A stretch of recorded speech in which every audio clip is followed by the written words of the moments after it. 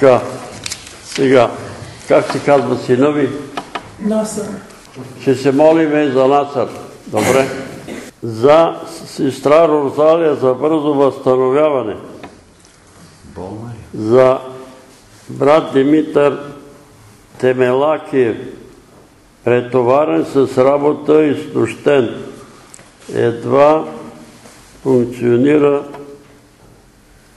нарушен сън, буди се 15 пъти на нощ, запуше едно, устата му пресъхват, напукват болки, увеличено тегло, не от лакомия. Моли за здраве, нормализиране теглото, съня и за сили. Който от брат Димитър Те Малакиев. Кажи. Годината два Димитри, високи българи, млади. Двама Димитровци. Единия, а, не знам откъде, от София, другия живееше и Бутонец. Едри мъже. А, Нощта му се запушва и като диша през устата, му се напукват устата и, почва да тръгват. Ми. Еми, а той вярваш ли? Вярваш ли, защото той посещаваше, тия двама Димитровци посещаваха нашето събрание, обаче една година не се А да не е това Димитър, да той е там сядаш отзад, високо. Те са двама... очила. Моля? С очила, сядаш е там. Това е с очила, а другия без очила също така висок и като мен. А, сещам се, дето Буклец. в Отонет живее. А, Еми, той ни слуша, какво да правим? Ходихме му на гости, той разпърлял там, направил неща, които нема страх от Бога. Нема играчка. той ни слушаше човек. Ние се помолиме, обаче трябва да се покаят тия хора. То не става един и другия. Нема какво да крие едното. Един живее с омъжена жена. Знаете какво значи това? Осквернява чужда постеля. И това е страшно проклятие. Хората е така си играят с огъня. И понеже е записано в една неканоническа книга, е, няма значение. Нали сме създадени да се обичаме? Ма не мога да се обичат. Той Ергений живее с семейна жена. И сега не е добре, ама няма да бъде добре. На Димитър, Единия. не е той, не е той. Не е той, не е той високи. Ама и високия е така, развей прах. Нали, ходи православната църква, дойде тук, говори, че тук било пълно с блудници и прелюбодей. Е, там отзад да стана. Тук е пълно от блудници и прелюбодей. Какво е това? Хула против Божията църква. И сега, ето резултат. Не може да спи по 15 пъти. Ще се молим и за двамата. Първия дойде тук и вика, аз те мразя тебе.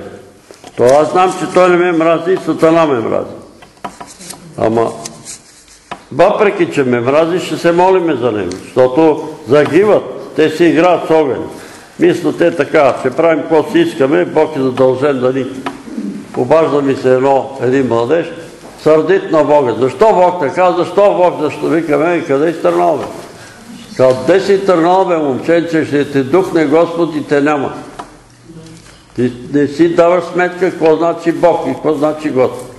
Хората не са обучени. Те си мислят, че могат да се пазарат така.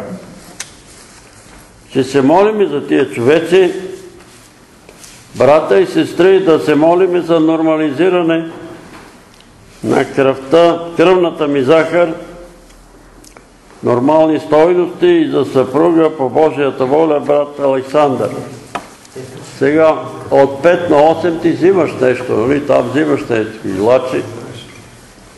Господ,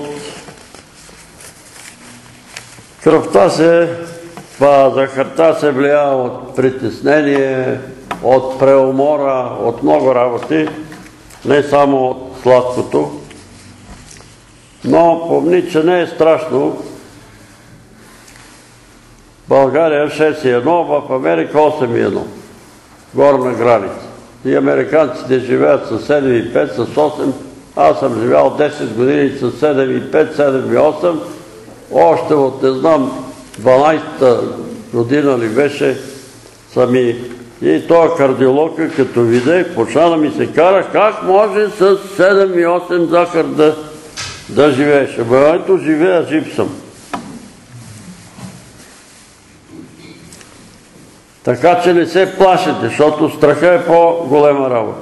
И официално, нали, прочетах за американците 8 и много чита за нормална захар. И не се паринчочат. Тук е 6 и 1. По-добре да е 5, или 5 и 4, 5 и 5, тогава е добре. Моля ви, брати и сестри, да ме подкрепите молитва Бог да изцери коляното ми поради, поради Неговата милост и благост. Без болки. Моля ви за Божията закрила и защита над синовете ми, внуците и снахите ми, племенници, за силна вера. Амин. Благодаря ви, сестра в Господ. Да се помолиме за Йорданка за съвършено и целени освобождение от дух на страх. Да се огледа Йорданка дали не върши някакви окултни грехове. Духа на страх пристига от окултизъм. Не. Добре. Молитва за сестра Здравка за пълно изцеление от пожурище. Има много проблеми, много болки. Господ да си смили над нея и на целия и дом и род. Господ да ни върне, да ми върне съня и да пропъди този бяс на разврат, който дойде и ме ми нарушава и не мога да си поема въздух. Осем дни не съм спал. Олеле, Господ. Некой те пожелал. Не е това, Николай, друг път. Да.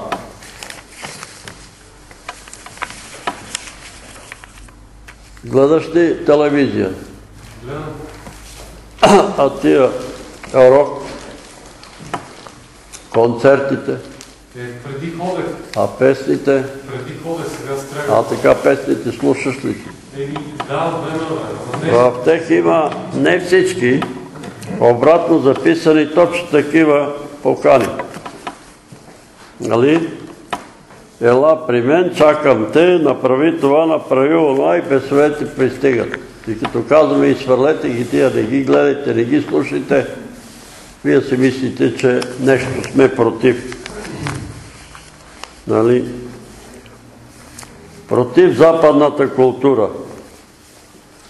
И там има култура, и там има певци, и инструменталисти, и всекакви, но това не е, не е култура, а е дивашка култура и тя е сатанинска култура. Ще се молиме за Николай Господ да се защити, но моя съвет е сутрин преди да станеш, моли се, Господи, опази ме от сексуалните бесове. Вечер преди да си легнеш, Господи, опази ме, ама с вяра го казваш и бъди сигурен, че Господ ще те защити. И се огледай около тебе, дали не даваш повод некои жени да те пожелават. Но и да те пожелават, Господ като каже опази ме, Той ще те опази. Но с вяра го казваш, без да, да си мислиш, Господи, опази ме тая нощ, ама дали ще му опазиш, нема с вяра, че Той ще опази. Това е, това е Неговото обещание. Той се грижи за всеки човек и не се обаждат ми се и сестри и братя, младежи. Бог ме е зарязал, Бог ме е отвърил. Това е лъжа. Това е дяволска лъжа, запомнете. Може Бог да те да допусне да бъдеш изпитан, може да бъдеш атакуван, но няма да те остави, Той е обещал. Вие не му вярвате тогава. До свършека на века аз съм с вас.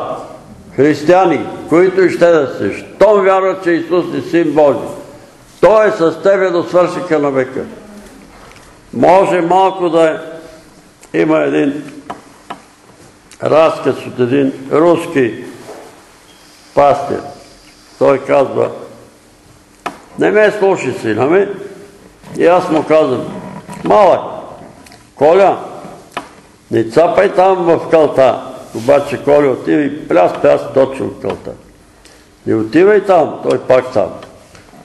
Аз се скрих, вика, за едно дърво. Той плеска, плеска и се огледа и вижда, че ме нема. И почва да пищи. Папа, на руски папа, значи татко, нали? Да не помисли, че вика папата. Татко, вика обаче аз си стоя там. Търчи, гледа, обикаля, плаче, раздрева се. Хората го питат, какво става, бе? И по едно време аз се появих. Той, като се хвърли, като ме фана за ръката, викам, сега ще ходиш и да, там да цапаш кълта. Не, няма да ходи. Това, Господ малко се забави, за да ни припомни къде, къде сме се нацапали, къде сме влезнали. Това прави, иначе ни наблюдава. Един от нас, пази ни, помага ни. Ако той ни е оставил, както ми се обаждат тия брата и сестри, ами и лукавия веднага ще ни ликвидира. Само да ни остави дявол. Да ни остави Господ. Дявол само това чака. Милост Господи и цари, петната и сърбежите по тялото ми дух на немощ. Ако това е магиоснически дух, моля те, развържи ме, освободи ме. Амин. Благодаря ти, Господи, Мариана. Мариана, гони го в името на Исус. В името на Отца, Сина и Светия Дух, магиоснически душе, напусни тялото ми. Отивай там, където Бог те е определил място. Бърни се върху главите на магиосниците и ще усетиш, че нещата се променят. Мили Боже, благодаря Ти, че, че ме, че ни изцеляваш. Благодаря Ти, че ни помагаш да разрешаваме нашите битови и професионални проблеми. Моля Те, помогни ни да бъдем по-смирени и по-търпеливи. Амин. Дай Боже да бъдем търпеливи. Ами добре, нека да си изправим и да се молим. Да се молим за безработните. Добре. Защото не се обадиш. Да се молим за безработните. Стара Розария в болницата, знаеш. Болни. Ама чупен ли е крака или само на Жената е кръпея, боли и кръста, големи болки не може да подига. И иска да идва на църква, но не може. И се казва... Не може. Да, Добре. иска. Елена. Господ. И Мела също е с чупен крак. И Иван, едно момченце на 10 години с чупен крак, отишло е на Витоша на ски и паднал и се чупил крака. Много трябва да имаваме. Господи, слава да бъде името Ти, благодарим Ти, че разкъса завесата, за да можем и ние, обикновените човеци, да идваме до светилището. Ние идваме сега с тия нужди на Твоя народ и Те молиме, Господи, да й цариш напълно, да благословиш и помилваш сестрата в Господа, която Ти благодари за помощите, които и помагаш да разреши битовите си и други проблеми. Молиме Те, Господи, да помилваш и да благословиш и да й цариш коляното на тази сестра, която предлага, предлага тази нужда. Молиме Те за нейната закрила и защита над нейните синове, внуци, снахи, племеници. Усили вярата им, Господи, укрепи ги, утвърди ги във вярата, за да наследат вечен живот. Молиме Те, Господи, за сестра Мариана, докосни се до духа, душата и тялото и освободи от всяко враже присъствие. Изцери петната и сървежите по тялото и ако това е дело на магиосници, ние те молиме тези магиоснически духове да бъдат вързани в името на Отца, Сина и Светия Дух и да бъдат върнати върху главите на магиосниците. А сестрата да бъде съвършено освободена и царена в името на Исус. Молиме те за този брат Николай, Господи, който го атакува сексуален демон и не му дава да спи. Не е спал няколко нощи. Молиме те да го развърши, освободиш от този бяс. Ако магиосници го атакуват, ако са го захранили с гносоти, ние те молиме, Господи, да го очистиш, да го освободиш с Твоята кръв. Пораси го с Твоята кръв и освободи го от блудническите демони и бесове и върни ги върху главите на магиосниците. Слава да бъде на името Ти. Мир дай в душата му. Дай му спокоен сън. Молиме Те, Господи, за здравка, която има много проблеми със здравето, болки в костите, ставите, гръбнака. Изцери и помилвай я, Господи, развържи от всяка наследствено обременяване. Прости греховете й, унищожи клетви и заклинания, отправени към нея. Молиме Те за този младеж Насър. Господи, докосни това момче. Помилвай го. Освободи го от всеки лъжлив дух, от всеки лукав дух.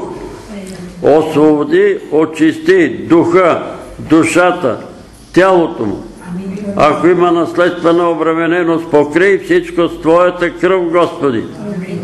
Молиме Те, Господи, ако срещу на сърца изговорени клетви, заклинания, магиосничества и други сатанински дела, разруши ги с огнения се меч, Душе Святи, изпади ги от духа, душата и тялото на това момче и цари го съвършено. Смили се за него, чуй молитвите на баща му, Господи. Смили се за този дом, благослови този дом, спаси това момче, слава да бъде името Ти. Ти си Бог отблизо и Бог отдалече.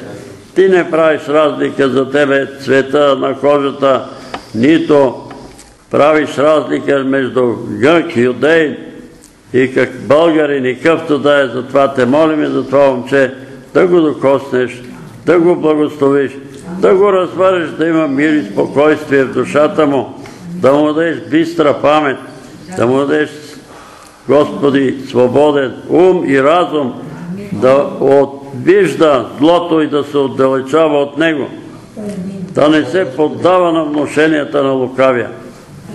Молиме Те за сестра Йорданка, Господи, съвършенно я и цари е освободил всеки дух на страх, дух на страх, който си се настанил в мислите, в ума и сърцето на тази сестра Йорданка, сега ти заповядваме в името на Отца, Сина и Светия Дух да напуснеш тялото й. Да отидеш там, където Бог ти е определил място. Да не се връщаш и да не обреждаш друга душа. В името на Исус. Амин. Господи, молиме Те за съвършено и царение брат Александър. Нормализирай кръвната захар. Молиме Те, Господи, Ти знаеш къде е причината. Помогни му да не се притеснява за нищо. Кръвната захар да бъде нормална, за да бъде здрав и силен.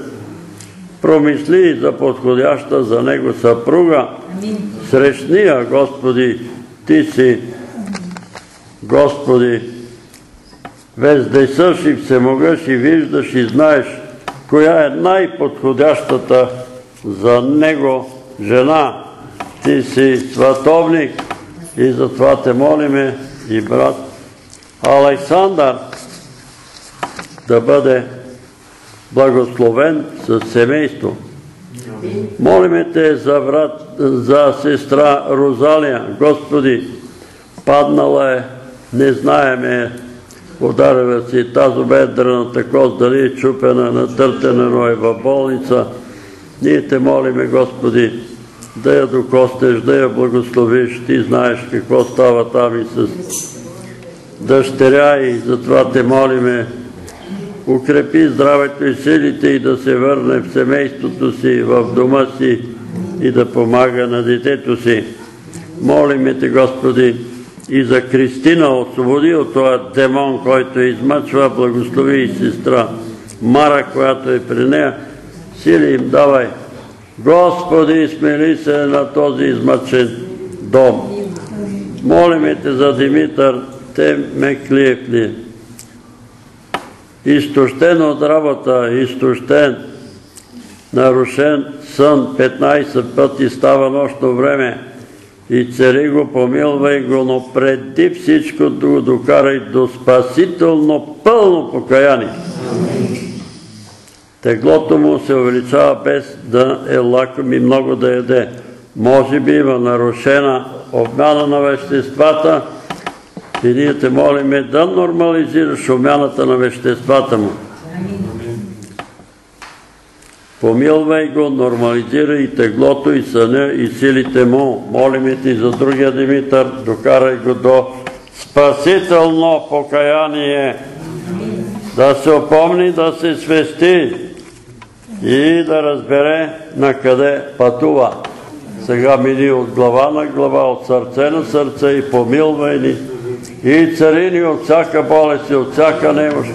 Освободи духа, душата и телата ни от всяко враже присъствие и като се съединяваме с Божия дух и тялото на Господ Исус Христос църквата в името на Отца и Сина и Светия Дух заповядвам на всички зли, магиоснически, сатанински, бесове и демони в името на Исус да напуснат това събрание. Да отидат и да се върнат върху тия, които са ги изпратили. Да се възвеличи Господ и да се прослави името му на това място. Да се слави името на живия Бог. Ако по един път идват, по седем пъти да бягат враговете на Господ Исус Христос от това място. Слава да бъде на името Ти, Господи, и благодарим Ти. Амин. Така, може да седнете. Каза им и прича за това, че трябва винаги да се молят и да не падат духом. Като рече в един град имаше съдия, който ни от Бога се боеше, нито от човеци не срамуваше. В същия град имаше една вдовица и тя дохождаше при него и казваше, защити ме от противника ми. Но той дълго време не рачи. А после рече си сам, макар и от Бога да не се боя, и от човеци да не се срамувам, но понеже тая вдовица ми не дава мира, ще я защита, та да не дохожда вече да ми додява. И рече Господ, чуйте, що казва неправедния съдя. Та Бог ли няма да защити избранниците си, които викат към Него денем и нощем, макар и да забавя да ги защити.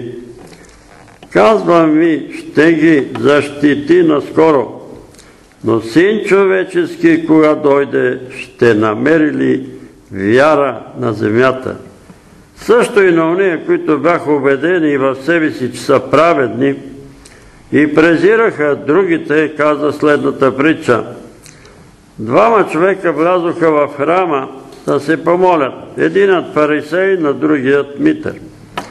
Фарисейнат, като застана, молеше се в себе си и тъй. Боже, благодаря ти, че не съм като другите човеци, грабители, неправедници, прелюбодейци или като този митър.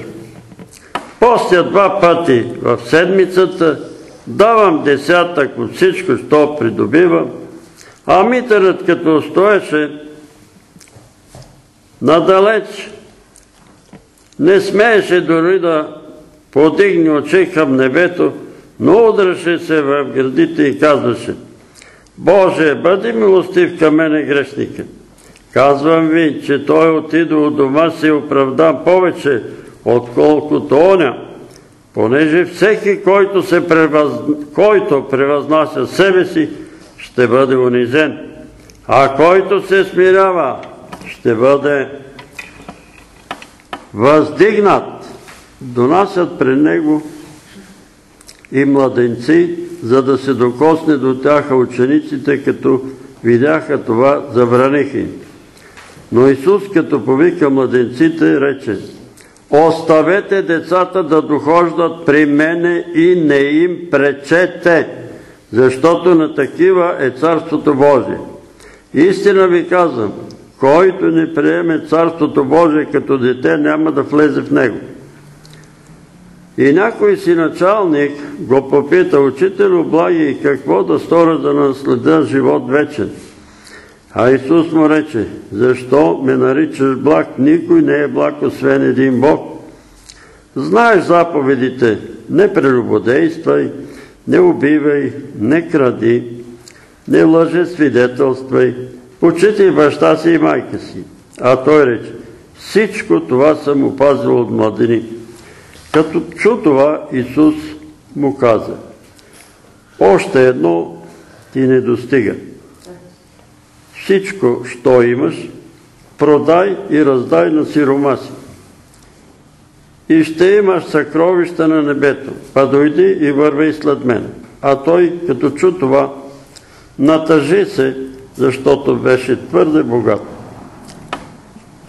Като видя, че той се натъжи, Исус рече, колко мъчно ще влезат в Царството Божие уния, които имат богатство. Защото по-лесно е Камила да мине пресиклени уши, нежели богата влезе в Царството Божие. Като чуха това, рекоха, а кой може да се спаси? Но той рече, невъзможното за човеците е възможно за Бога. Петър му каза, ето ние оставихме всичко и те последвахме.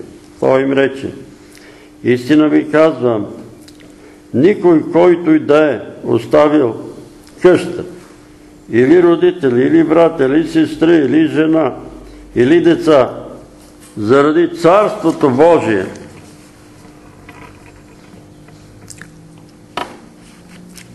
и да не е получил много повече в сегашното време, па в идещия век живот вечен.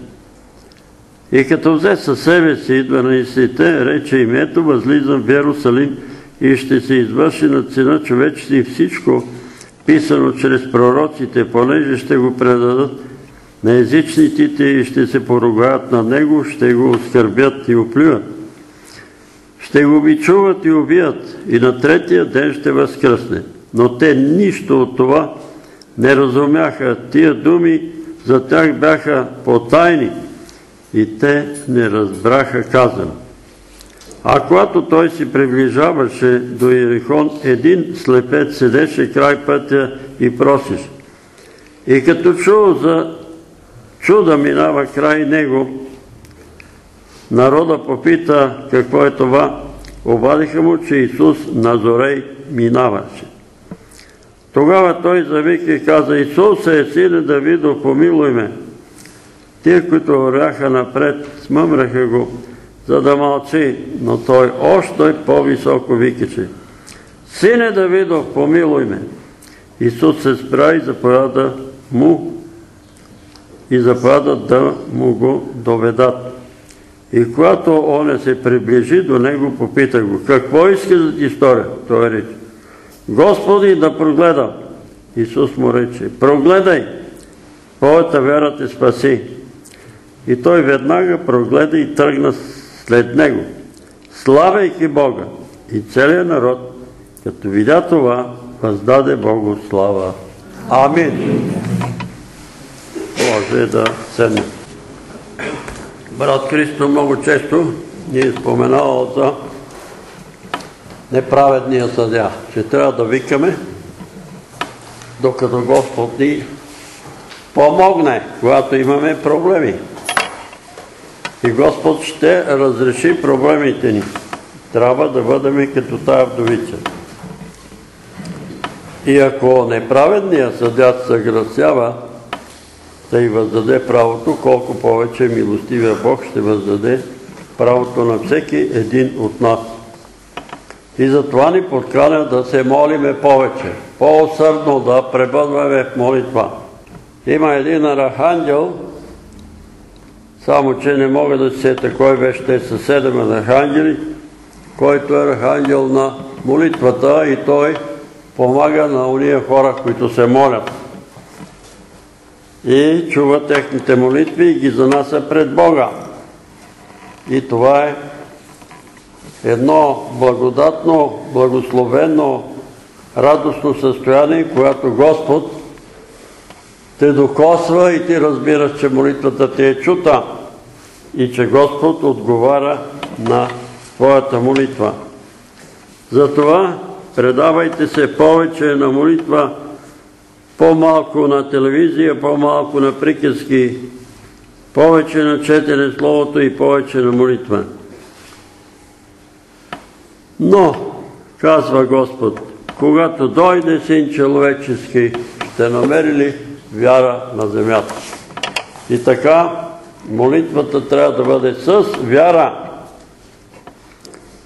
Защо Исус счита, че няма да намери вяра на земята? Той ни предупреждава, че в последно време ще дойдат много лъжеучители, много лъжепророци, много имитатори. През седмицата дойде един брат дома и си говорихме, той в неделя е бил на църква. Вика, прекрасна беше службата в православна църква.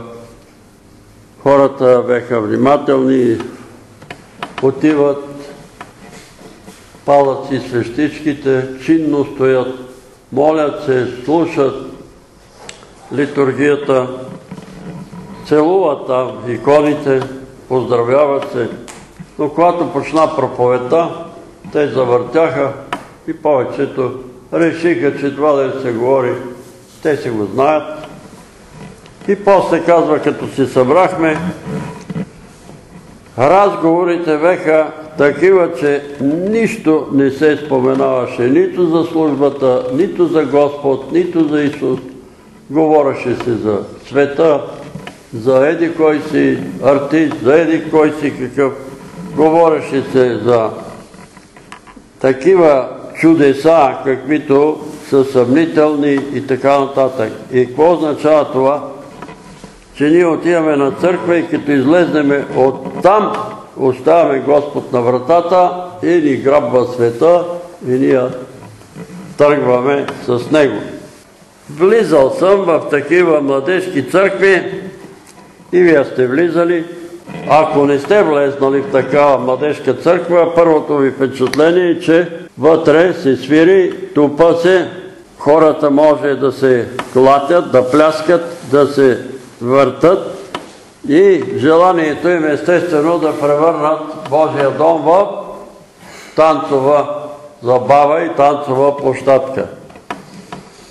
Ние бехме в една такава църква с брат Пламен в Лион и бехме се навели да се молиме и изведнъж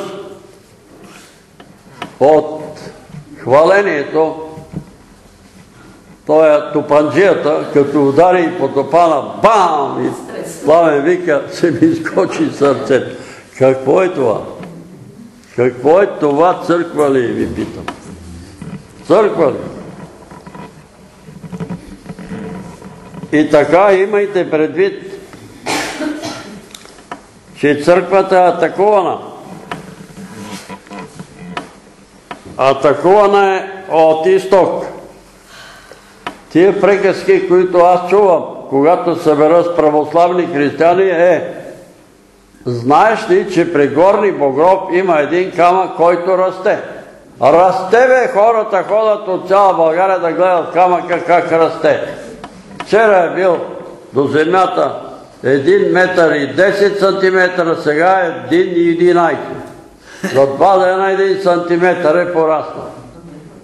Абе хора, вие защо не ми говорите за кръста на Исус, за еди какво. Ама ти знаеш ли, вика, че в Родопите там има едни камъни, които като отидеш там и ги положиш ръце и лекуват всички болести. Показаха го, вика, по телевизията. Наредили са на опашки хора, християни, мюсулмани, отиват там на камъните и се лекуват. Ами тук, вика, па една жена, иконата и плаче, бе, кърв, кървави сълзи. Отива там, некой беше ходил, вика, нема кървави сълзи, нема нищо. Обаче народа гърми. Възможно ли е да има благоухание? Възможно е.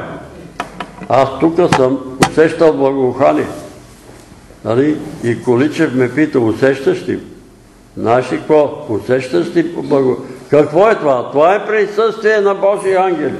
Присъствие на Святия Дух. Възможно е. Възможно е. Ама не се говори за Господ Исус Христос. Не се говори.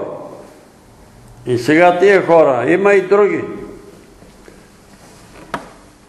Знаеш ли, какво ще кажеш за Джуна? Какво ще кажеш за Еди коя? Сега имал някаква Потапова, Потапова, която лекува всички болести. Освобождава от, какво беше? От цигари, алкохол, от не знам какво. Не може бе хора, бе. Господ освобождава. Тя може да се моли. Какво ще кажеш за Каспировски? Какво ще кажеш за Еди кой си? Какво ще кажеш? Какво е това? Играеш ли рейки, играеш ли упражненията на йогите, лежиш ли там на камъчетата на тия братя дошли от Южна Корея? Какво е това? Лъжливи религии от изток. Пристигат и народа християни, новородени, кръстени отиват. Е, ние сме брат Павел и Теодора. Правиле, не, не дей там да лежиш на тия камъни. Един лев на ден вика, лежа на камъчетата и ми е много добре. И сега е парализиран. От изток лъжливи религии. От изток лъжливи религии. От запад лъжливи учения. Скачай, рипай, скачай, рипай, мачкай дявола. Дяволе, ти си никой, ти си гасеница, ритай го, скачай върху него, ударай му пестици на дявол. И какво стана с тия хора? Некои изкочиха едно момиче от 12-тия, други от 8 етаж, сега некой е изкочил от някакъв небостъргач от същите тия гонители на дявола. Защото немат си представа. Немат си представа какво представлява дявол. Каква гасеница? Каква гасеница? Той е бил първия след Господ Исус Христос. Той е бил по-голем от архангелите. От архангелите. А те го ритат, удрат и умрут си и после. Оларе! Съжалявам, че трябва да ги казвам тия неща, но трябва да се говори народа да знае. Къде отива, какво прави? Е, тук дойде брат Игнат и казва, брат Петър, молете се за сина ми. Той беше пастир на такава църква. Огнена вяра ли беше? Басан, ритал, дяволът мачкал го, тъпкал го, удрал му плестици, сега вика е клецнал в един ъгъл там на спалнята, гледа в една точка, ни отговаря, ни говори, ни яде, ни пие, ни и там седи. Защо е така? Вие не си, не си даваме сметка. Защо? И сега, обажда ми се една сестра от Стара Загора и казва, брат Петре, пастира каза, че моето дете на 4 години има дарба и царени. И аз го вода да полага ръце върху за царени. Абе, сестро, внимавайте бе, абе, това дете ще го, ще го съсипете. Бе. 4 годишно. Сестра Виктория доведе нейна внучка.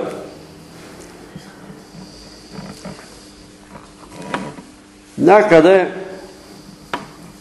в Северна България, кой град беше, събира децата от училището, ходила на църква, видела, че се полагат ръце за ицере, че се моли, тя почнала да полага ръце на децата, събират се там в горичката, полага ръце на децата, моли се за изцарение. И това дете го доведаха парализирано, не може да ходи и краката му вързани.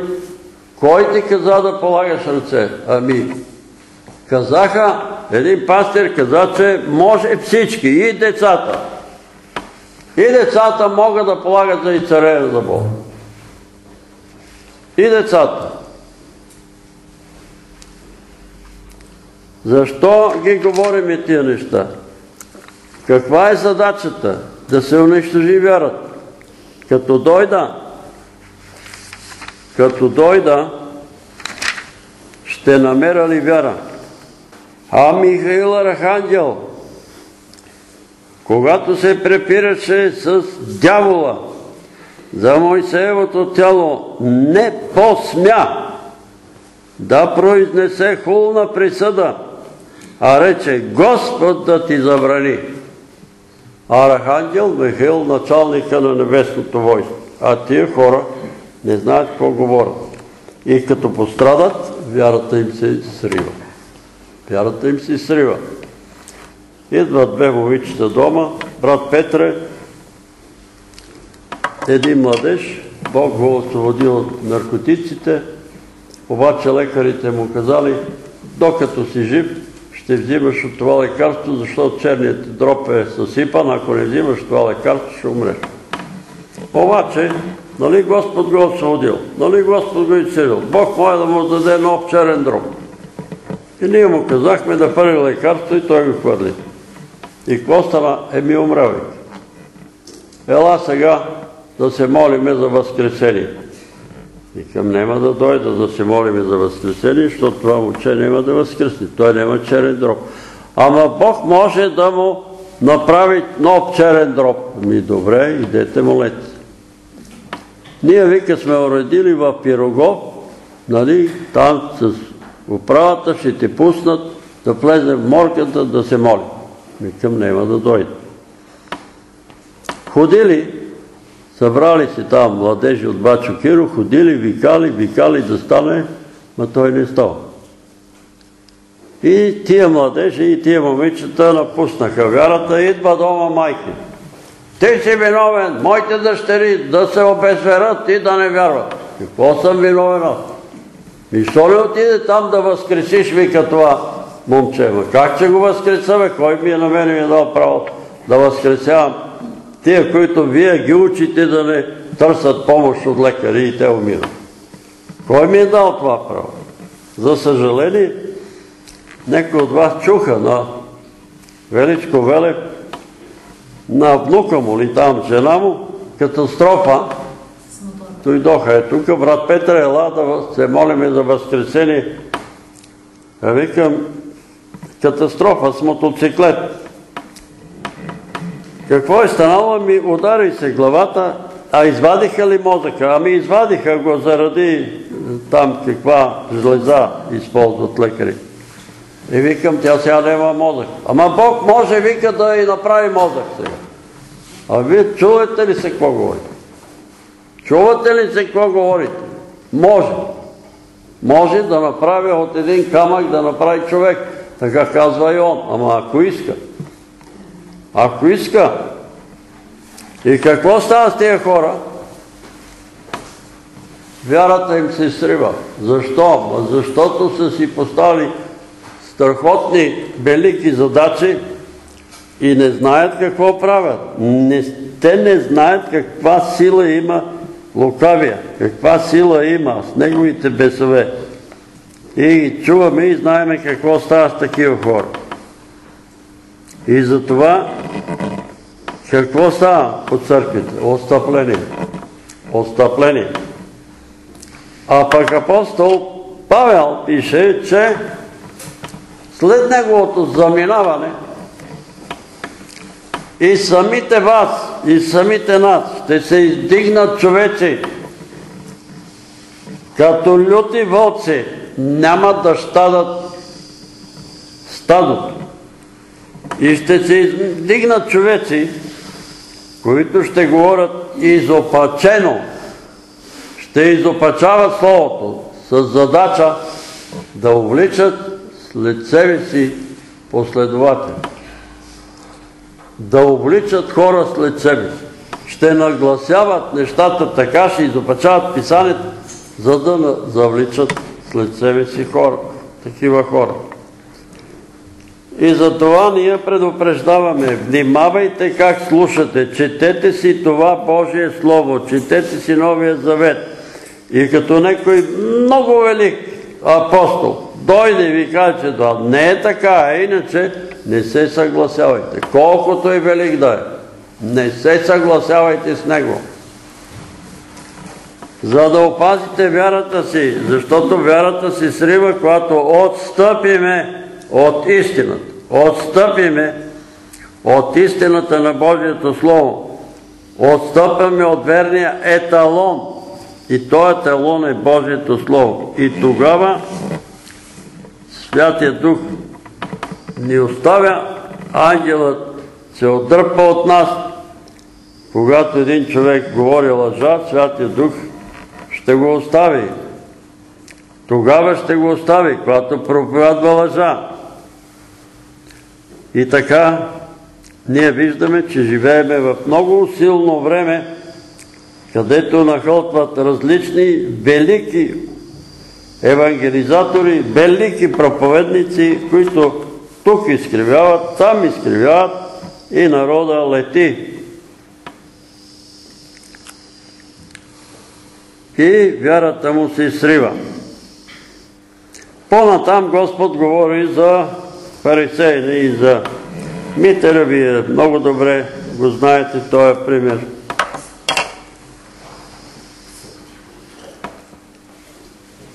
Много добре, много пъти е говорено. Митера и фарисея, аз го помня от дете, даже си спомням в учебника, Митър беше така се изперчил в храма, нали? гледа така, картината ми се е запечатала, фарисейно, а Митъра бос такъв, свил се там и надолу навел глава въгъла, така ми се запечатали.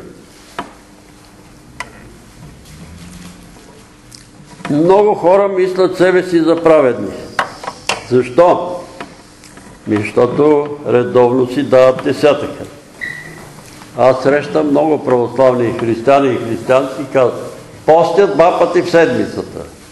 Постят два пъти в седмицата. По-добре е да не постиш. Защо? Защото, щом се хвалиш, все едно, че не постиш. Все едно, че не постиш. Защото такъв е реда в православната църква. Ако постиш, петък и събота, взимаш Господна, т.е. причастяваш се без да постиш другите дни. Без да постиш, свещеника да... И ти постиш. Не ядеш блажно. И през седмицата се кара с кумшиите, с роднини, делиш това, онова, обаче постиш два пъти цего, отиваш там и получаваш причастие. Такъв ред има. И не съм като другите човеци, грабители, беззаконници, прелеводейци. Не съм като те. Какво е дошъл да каже на Бога фарисейна?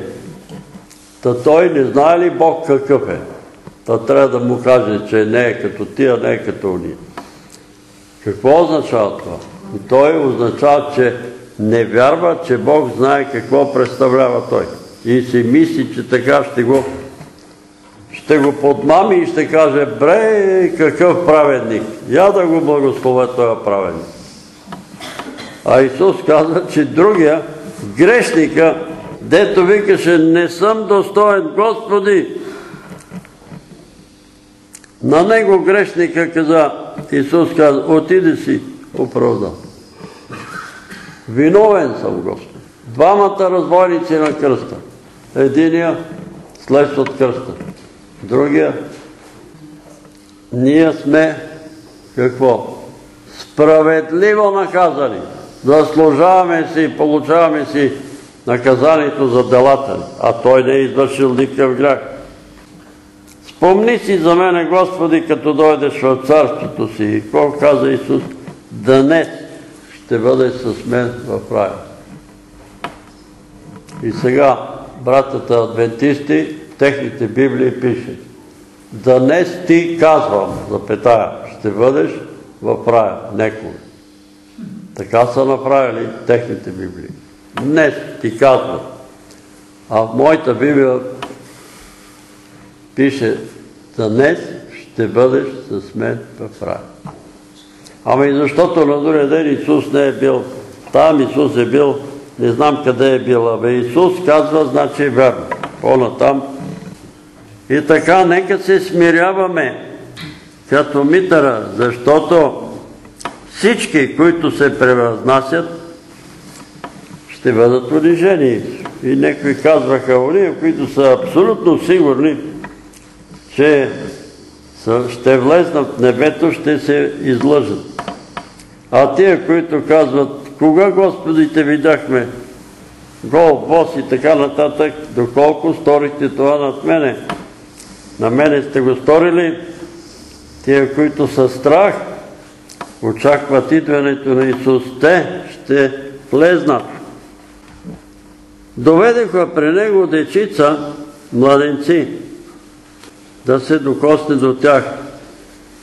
Учениците ги възпираха, но Исус им каза, не им пречете, не им пречете, оставете децата да дохождат при мене и не им пречете, защото на такива е Царството Божие. Кой пречи на децата да дойдат при Исус? Много хора, много народ пречи. Пречи Министерството на просветата в България. Пречи децата да дойдат при Исус. Пречи, като не се разрешава да се учи вероучение. Децата да не учат вероучение. Пречат родителите.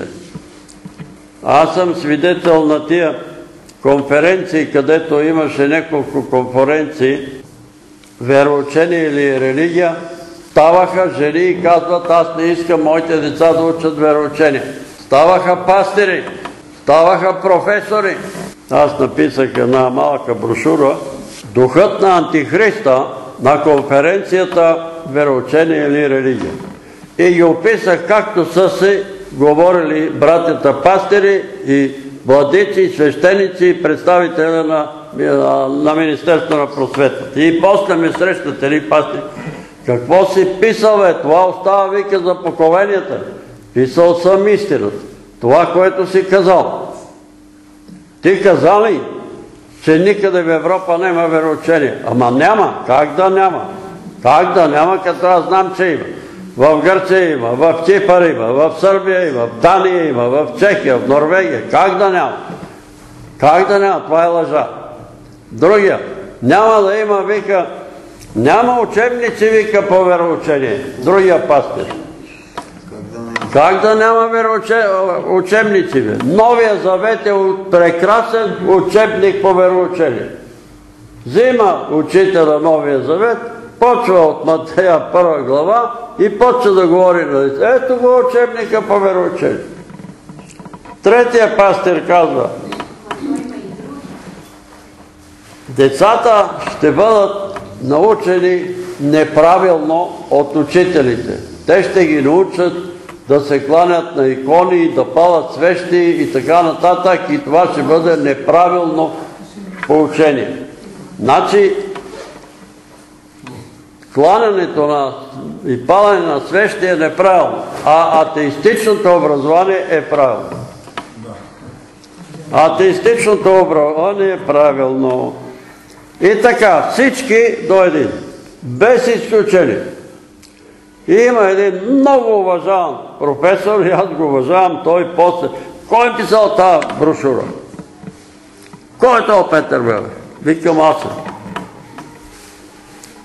А той, Милия, пише следно. Децата трябва да учат вероучение, но не трябва да бъдат учени да вярват в Бога. Те трябва да четат Библията и Новия Завет и като четат Библията и Новия Завет, ще бъдат подтикнати да бъдат подтикнати към родолюбиви дела, да бъдат патриоти, да обичат България. Но да не вярват в Бога. Представителя на, министер... на Министерство на просветата. Събрали сте, вика, 200-300 хиляди подписи за да се учи вероучение в училищата. Обаче няма да се учи вероучение. Защото тия подписи са на пенсионери, на баби и дядовци. И ние няма да се вслушаме в съвета и желанието на бабите и на дядовци. И няма да има вероучение. Конференция за вероучението в НДК-то и журналисти от целия свят ни слушат и наблюдават. Слушат и ни наблюдават.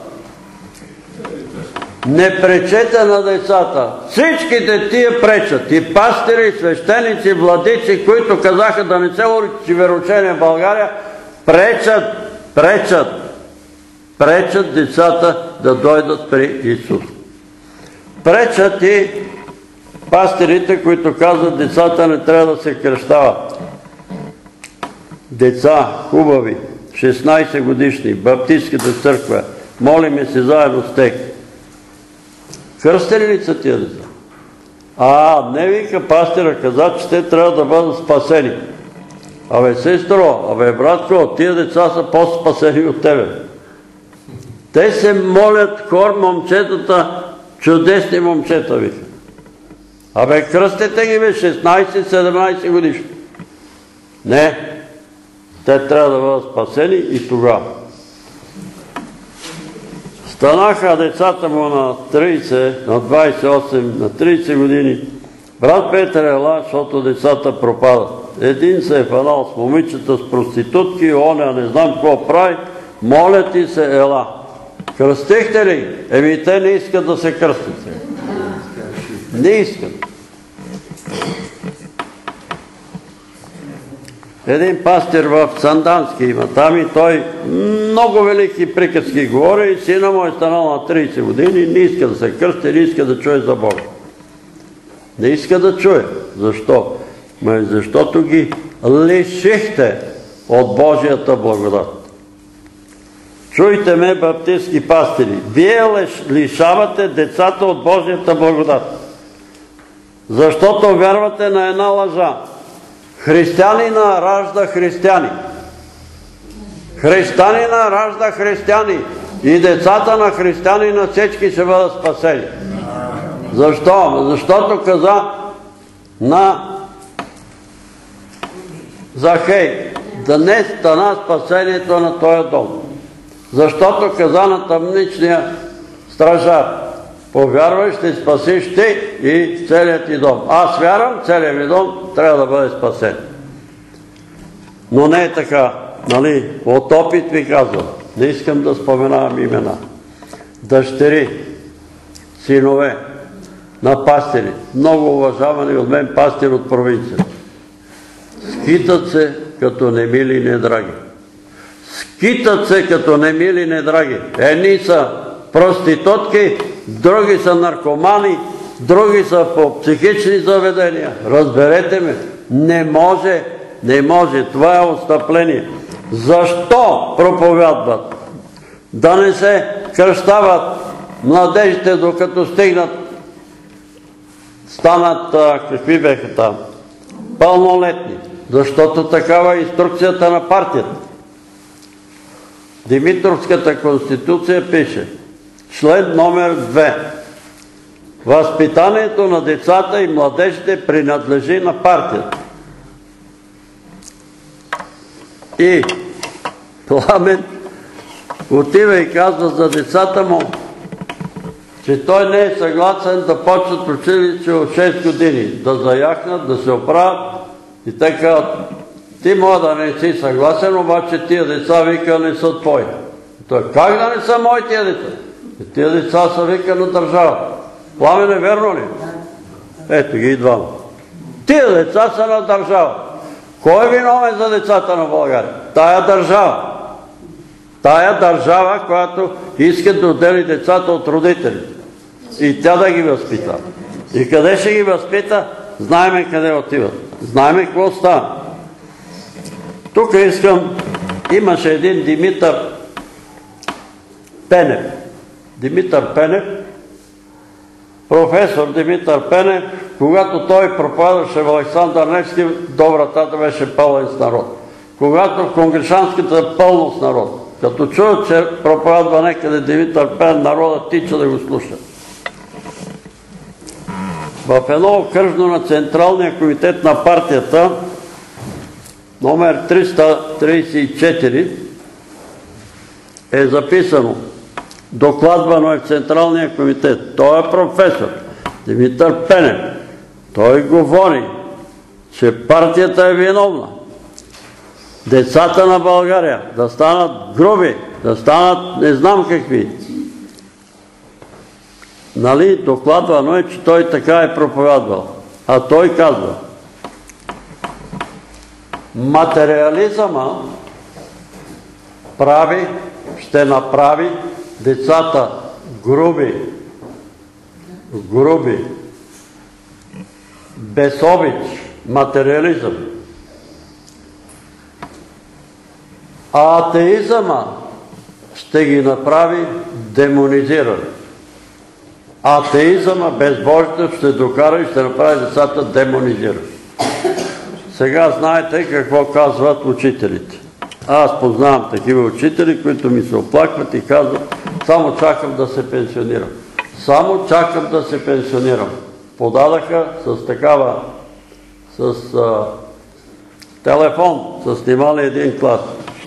Учителката седи на там на как се казва? Катедрата. Момичетата излизат и се събличат. И остават по шорти и почнаха е така да играят. Дадаха и по телевизия. Момчетата ходят по чинови. Какво е това? Ами това е плода на атеистичното възпитание. Ако тия деца беха учили вероучение, щеха ли да го направят? Ако тия деца вярваха в Бога, имаха страх от Бога, щеха ли да го направят? И сега тя е виновна. Е, тя е виновна, защото ако беше станала да ги докосне и да ги удари, щеха да вкарат затвора. Тя не знае какво да прави. Ме тя не знае какво да прави.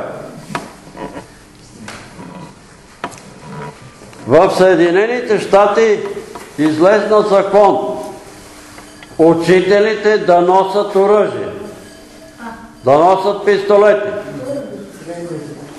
Вижте на къде отиват нещата. Защо на учителите им трябват пистолети? Защото некои от ученици почва да стрелят. Изпълнява ли си пророчеството на професор Пенев? Децата ще станат демонизирани, ще станат материализъма, ще ги докара до животинско озверяване, а атеизъме ще ги докара до окултно подивяване.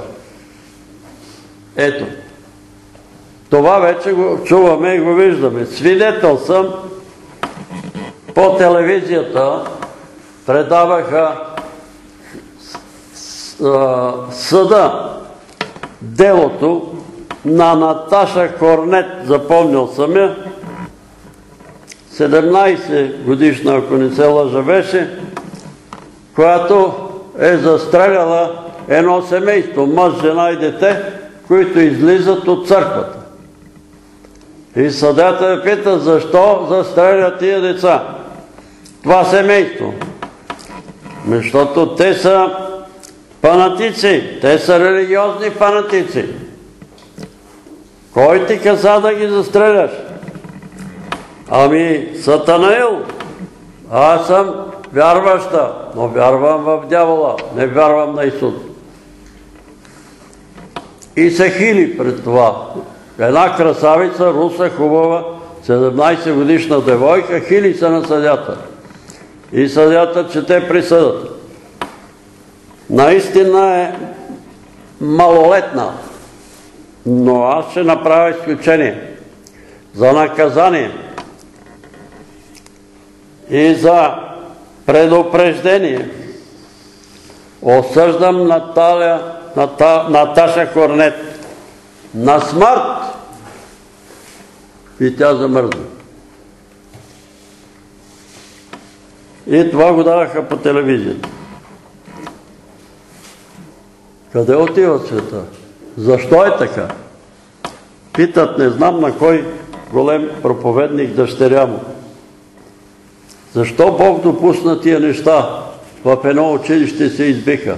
Защо? Бог го допусна. А тя им отговаря на журналистите. Защото вие изгонихте Бог от училището. Затова го допусна. Ако Бог беше в училище, това няма да стане. Това няма да стане.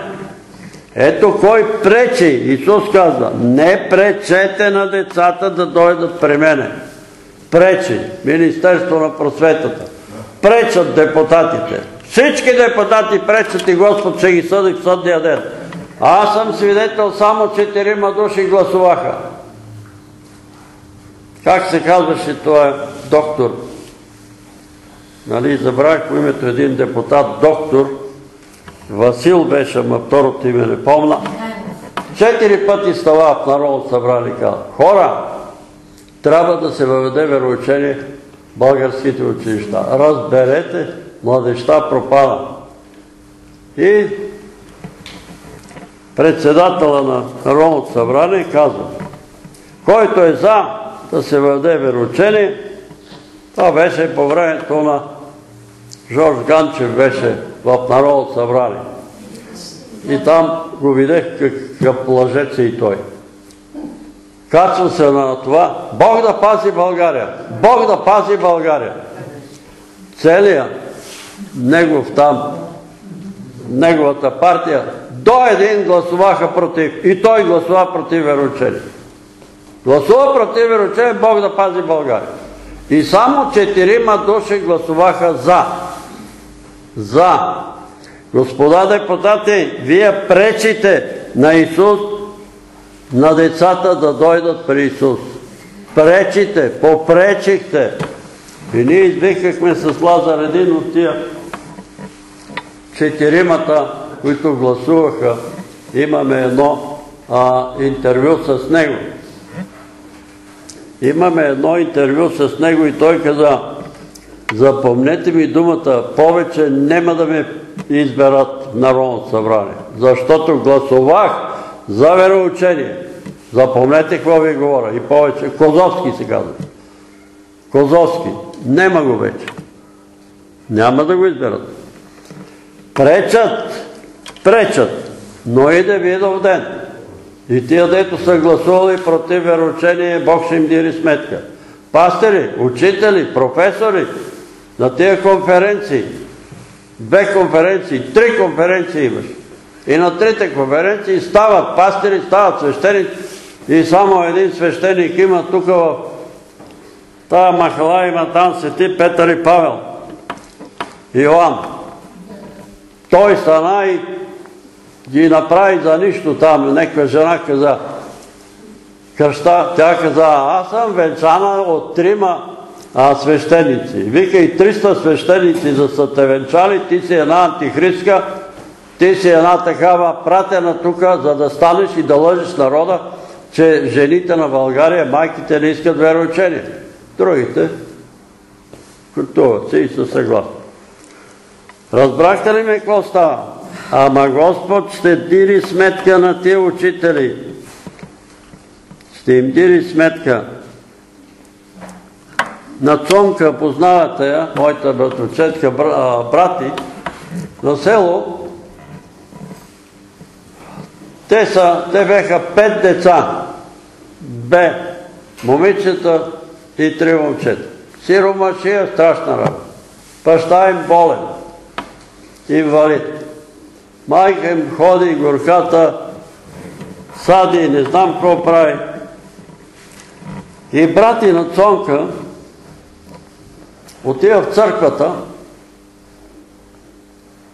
и свещеника му дават два лева да носи там хоругвите. Нали, като има да помага, вземе кръста, не знам какво, той минава с чашата, там в богослужението нещо да помага. Извикал го директора на училището и като го подбрал, карал му се и той идва, оплаква се там на леля ви, вика, забрани ми да хода, а те си ромаси, два лева на времето беха пари, един хлеб срочи 3 стотинки, ще занесе да нахрани братята си и сестрите си, деца. И, се, и Леля ми среща директора, абе защо си забранил на Любен да ходи там? Изкарва си по два лева момчето. Абе такива са, такава е наредбата, такава е програмата. Аз като директор трябва да внимавам некое дете да не отиде на църква. Какво да правя? И тя му казала, какво да правиш ти? Правиш се, че не си го видял и не знаеш. Това ще правиш. Защо лишаваш това дете? И той казал, е, права си, права си, баба, да напред се правя, че не знам. Кой е виновен за тия деца? И сега, неговите братя там, моли ми се, те са повярвали, ама на кого се повярвали? На Ванга и на Петър Дънов. На Ванга и на Петър Дънов. Само Цонка, Господ да я пази и да й даде сили да устои до край. Ето кой пречи. Директорите, учителите пречат. Пречат. Тидахме в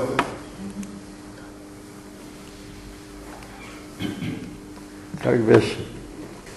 Гецово ли беше някакво село? Гецово ли сега? Гецово. А? Гецово. Гецово. Да, Разградско. Да. И свещеника Бог да го благослови, как се казваш? Димитрий. А? Димитрий. Димитрий, Бесарабски и българи. Ето ви църквата тук, събирайте се, аз да не ви преча. Проповядвай, говори и аз говоря и казвам. Виждам, че много от вас сте болни, но някои от вас са били учителки. Имало и учителки по... Повечето беха жени. По биология. И сте учили децата, че човеци сме произлезнали от маймуните. Ако това сте го правили, покайте се, изповядайте греховете си и Господ ще ви изцери. Но ако не се покаете и мислите, че сте били прави, няма да ви изцери, защото вие сте съблазнили децата на България в една, да вярват в една лъжа, че сме произлезли от маймуните. И Марето ще ви каже какво стана. Една жена с патерици се надигна, ядоса се и с вратата и да я нема. И жените казах, беше учителка по биология. Какво е направила тя? Пречи на децата да отидат при Исус. Пречи. Брат Димитър Количев ми даде един адрес да отида в Разлог. Едно момиче, девети клас, му излиза тук на, точно тук, едно образование, колкото човешка длан. Расте, е тук, точно тук, отрежат го, втори път го режат, то пак израства. И отивам аз в разлог, а то свири на хармониума и питам майката, какво работиш? Учител. Учи ли децата, че няма Бог и че сме произлезнали от маймуни? Ами, такава е програмата. Такава е програмата. А сега викам, А сега ти си съблазнил толкова много деца. А Исус казва, внимавайте да не съблазните едно от тия малките. Едно дете да не съблазни. А ти си съблазнил толкова деца. Сега какво да прави? Ми такава беше програмата. Обещаваш ли пред Бога и пред църквата, че повече никога нема да кажеш на децата, че сме произлезнали от маймуните. И тя вика, обещавам. И аз си сложих ръката на това дете тука, то се е навело така, и ръката ми стана мокра, сълзите и така течат като чешма. И аз само казах, Господи, Ти знаеш. Това ми беше молитва. Ти знаеш. Това ми беше молитва. И после Количев ми каза, че направили се още една операция, но пластична операция, защото тук, където се е резали, тя е момиче, нали, да се махне това белек. И момичето е живо и здраво. Обещавам, никога няма да говоря повече на децата, че сме произлезли от маймуни. Господ вижда и се смирява. Но тази женица от Гецово ядоса се из вратата. Защо бе жена? Защо? Защото ти си вярваш сигурно, че сме произлезнали от маймуните. Еми няма да имаш и царели. Няма и царели. Затова, моля ви се, огледайте се дали не пречите на децата да дойдат при Бога. И дойде при него един човек и го нарече учителю благия, той му каза само един Бог е благ, защо ме наричаш благ? Какво да направя да наследа вечен живот? Ами пази заповедите. Опазил съм ги от младини. Дали беше ги опазил? Той чита, че ги опазил. И ние вярваме, че сме ги опазили. Обаче той му каза, иди продай имота си, раздай на сирома си и лада ме следваш. Какво не беше опазил? Втората заповед. Не, не беше опазил втората заповед. Не си прави нито идол, нито... Какво беше неговия идол? Богатството. Той считаше, че богатството ще му осигури щастие, здраве, сигурност, ще има всичко, като има имот. И сега тук, не знам вие, които гледахте по телевизията папата, дали забелязахте какво им казах, когато беха събрани там пред президентство. Господа, вашите пари са кървави. Побързайте да се покаете, докато не сте стигнали в ада. Казвам го с мои думи. Може словореда да е по-различен. Покайте се, докато не сте стигнали в ада. И когато го слушах, аз си помислих, колко ли от тия богаташи там беха наседали, нали, елита на България, колко ли от тия богаташи ще се присмеят на това, този е призив. И като затворят очи, ще съжаляват цяла вечност, че не са постъпили като Захей половината от богатствата да ги раздадат на сиромати. Говоря за тия хора, на които парите са кървави. Не говоря за тия, които денем и нощом работят, за да изкарат, нали, да се... Освен това, има и пари, които са получени по наследство. Нали? Апостол Павел пише там, богаташите да не мислят високо за себе си, но да се грижат и за сиромасти, и да бъдат общителни, да не мислят високо за себе си. Кои са тия кървави пари? Това са парите, получени от оръжието, от продажба на оръжие. Защо? Защото тия пари са продадени оръжията и оръжията са избили хора и там е пръсната пролята човешка кръв. Когато станаха, а впрочем понеделник брат Христо каза, ние се молихме, Господи, благослови България. а той дойде промени и каза, миса няма да я благослови. Помниш? За сега няма да е. За сега няма да е. И какво стана в вторник? Градушката помле маса места. Пловдивско, Плевенско, те не казват навсекъде. Долу Камарци панала градушка. Защо? Защо? Аз за мене си отговарям. Защото народа не вярва Бога,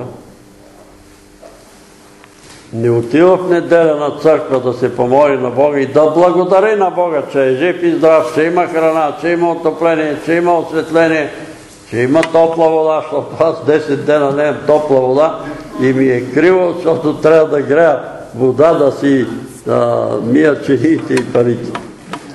Ами, дедо ми да не е имал топла вода, да е имал бойлер той, нали, или баба ми. И като не е топла вода? И ние най-малкото почваме да мъркаме. Защо пана в моята градина градушка? Ами защото в неделя ходих да окопавам картофите. Неделя. Нема ли? Аз съм пенсионер. Нема ли дни?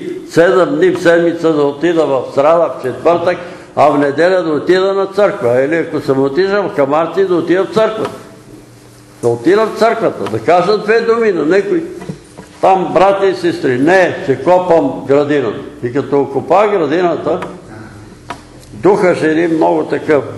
Печеше слънцето, ако облеча неква дреха, та не ми мъка. Съблеча се по риза, един вятър такъв и аз седна, изкарам една бръзда, копам, седна и то в гърба. И после като дойдох тук се сковах цели. Защо? Защото сме неразумни. Защо? Защото народа не иска да бъде благословен. Той иска да бъде благословен, но по неговия метод и неговия начин. Отиваме да се молим за една сестра с брат Сечо, Леля му болна. На Възкресение Христово, на Възкресение Христово бехме там, това село. Отиваме ние от тех, той отиде при Леля си, нема е. Отива, пита се, къде е Леля ми? Ами тя на нивата вика, за гърля вика картофи. Абе, нема ли жено на 65 дни в годината? Точно на Възкресение Христово ли ще отидеш да копаш и да загърляш картофи? Еми, няма и царевич. Не се получи царевич. Ето ни къде сме. И така този богаташ си отиде. Защо? Защото се надяваше на богатството. Обича си си богатството. Исус не иска сега да станем сиромаси и просици, но той му каза това да разбере къде, къде го е вързал дявола. Защото този човек си мисли, имам за много години Натрупал съм, имам. А Бог му казва, тая нощ ти изискам душата. А къде си го натрупа?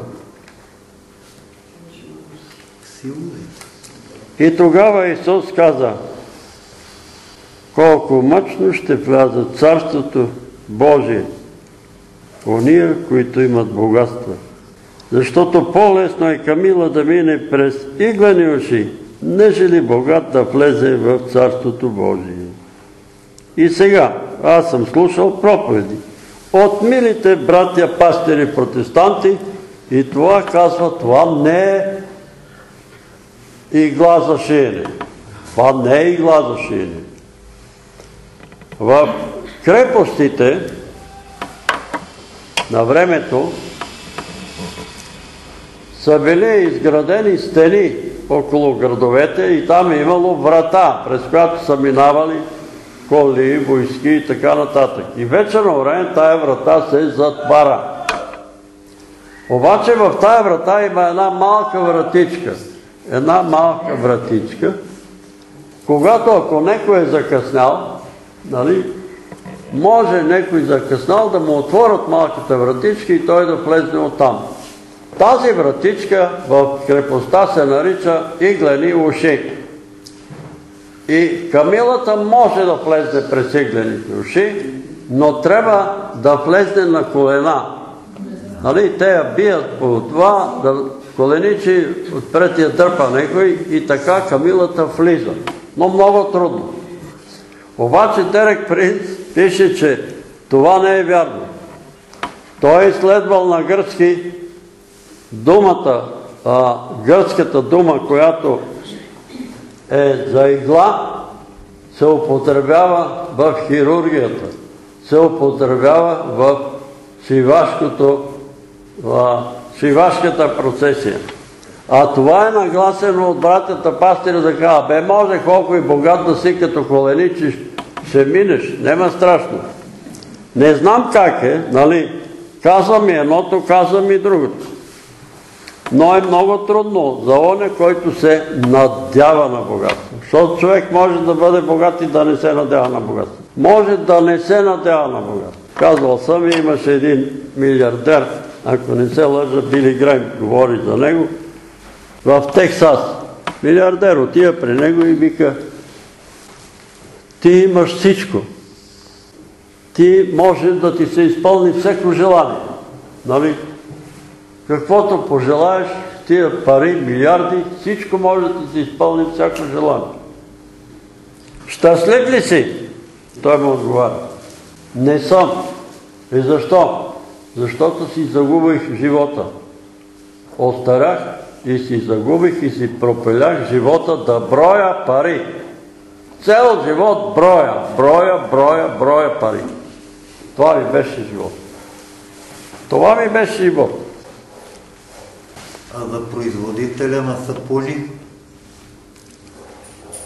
Еми, производителя на сапуни дава 10%, дава 20%, дава 70% от печалбата. И винаги е доволен и щастлив. Сега чух, дали е верно, това чух за Били Грем във филма, той е казал, искам заплата на един провинциален пастир. Не ме интересува. А те му носят такива торби с пари. На всяка евангелизация събират им. Не ги искам. Бени Хим така ли постъпва? И той вика, не ги искам. А във Варна е казал, така ви казаха във Варна. Дяконите в църква. Казал е, повече от 50 евро, по-малко от 50 евро, никой да не пуска в дишка. Повече, по-малко от 50 евро човека. Иначе толкова, неговите думи толкова струват.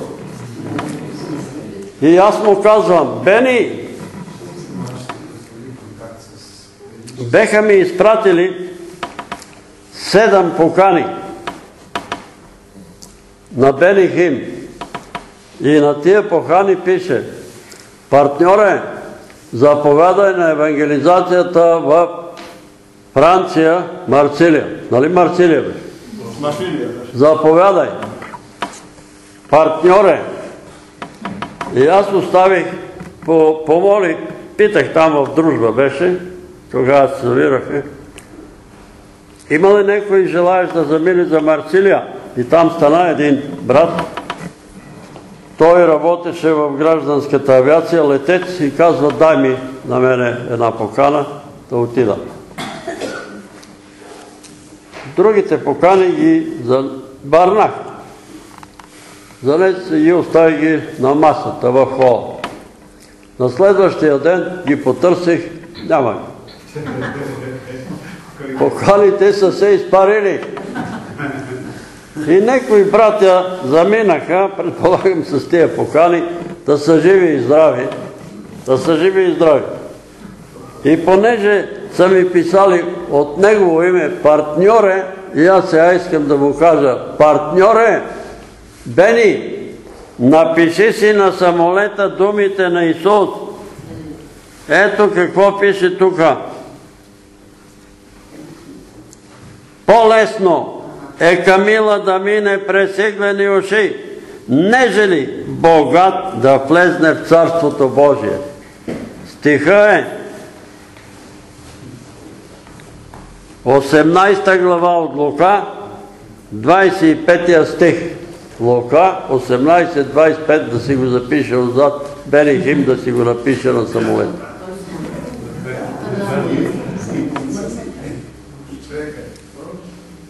Като чуха това, какво някой недоволства ли? Кой? Коментират. А, коментира. А, дали ще го напише? За Бени Хил. Как мисли? Дали ще го напише на самолета? Няма да го А, ще го напише. Ами тогава само да напише Лука 18, 25, без да пише какво пише.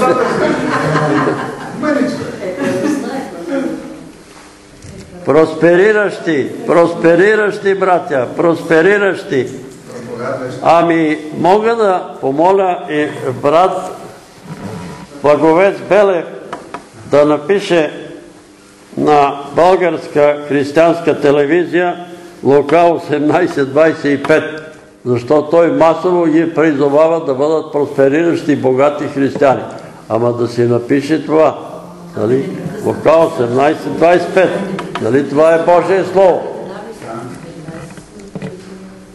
И тогава учениците казват, кой може? Кой може? В Матея, същия случай Матея пише, за човеците това е невъзможно. За човеците това е невъзможно. Да влезе човек сам в небесното царство. Ако можеше, нямаше нужда от спасител. Нямаше да идва спасител. Невъзможно. Но тук Лука е малко по, по друг начин го е написал. Но той рече, невъзможното за човеците е възможно за Бог. Каквото е невъзможно за човеците, за Бога е възможно. И тогава Петър попита, ето ние оставихме и тръгнахме след тебе. Истина ви казвам, няма никой, който да оставил къща или родители, или братя, или сестри, или жена, или деца, заради Царството Божие. И да не е получил много повече в сегашно време, а и в идещия век живот вече.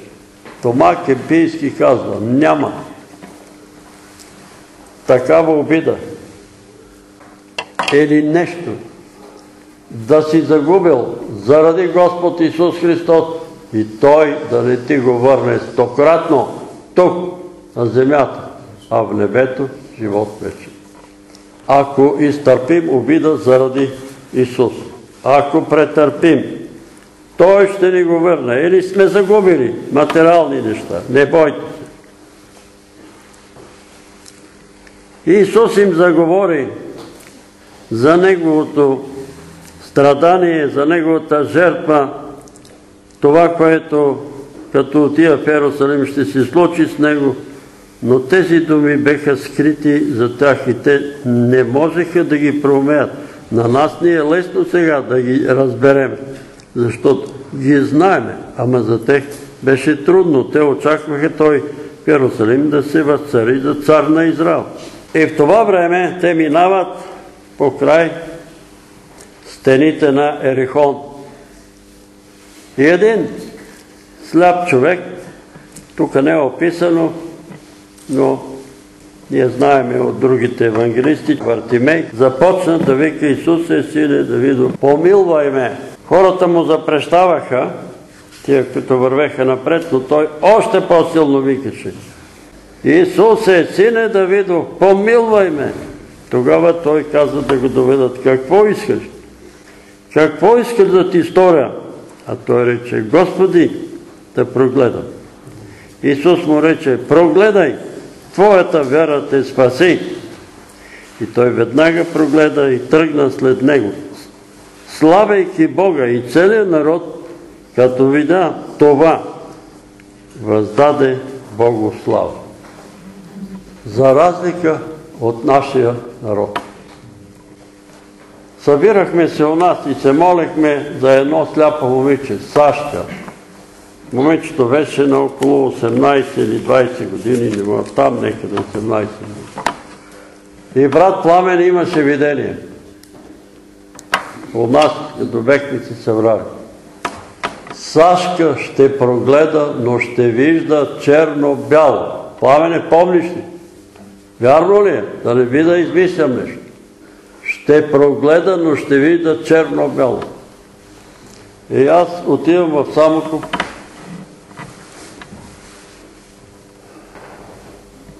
Неделя на служба. Сашка да излезе да се молиме за нея. Не вижда. Сляпо момиче. Ние се молиме в дома на брат Георги и сестра Петрана. В дома им, в един хол, там в една стая. И се събирахме, може би, колкото 20-30 души. И като се молихме за Сашка и заповядахме на този дух на слепота да я напусне, Сашка започна да крещи и вика, виждам през прозореца. А улицата през прозореца беше като тая. Оттам има друга улица. И каза, един, два, три, три стълба има на улицата. Ние виждаме три стълба. И всички извиквахме слава на Бога, слава на Бога, жив Господ, ето Господи, благодарим ти за това момиче. Но аз съм описал тази история, защото отидах при майка и баща и ги питам, какво работиш? Работа в почивната станция на ВВС. И в това време аз виждам видение. Една касета, толкова голема, пълна с луканчи.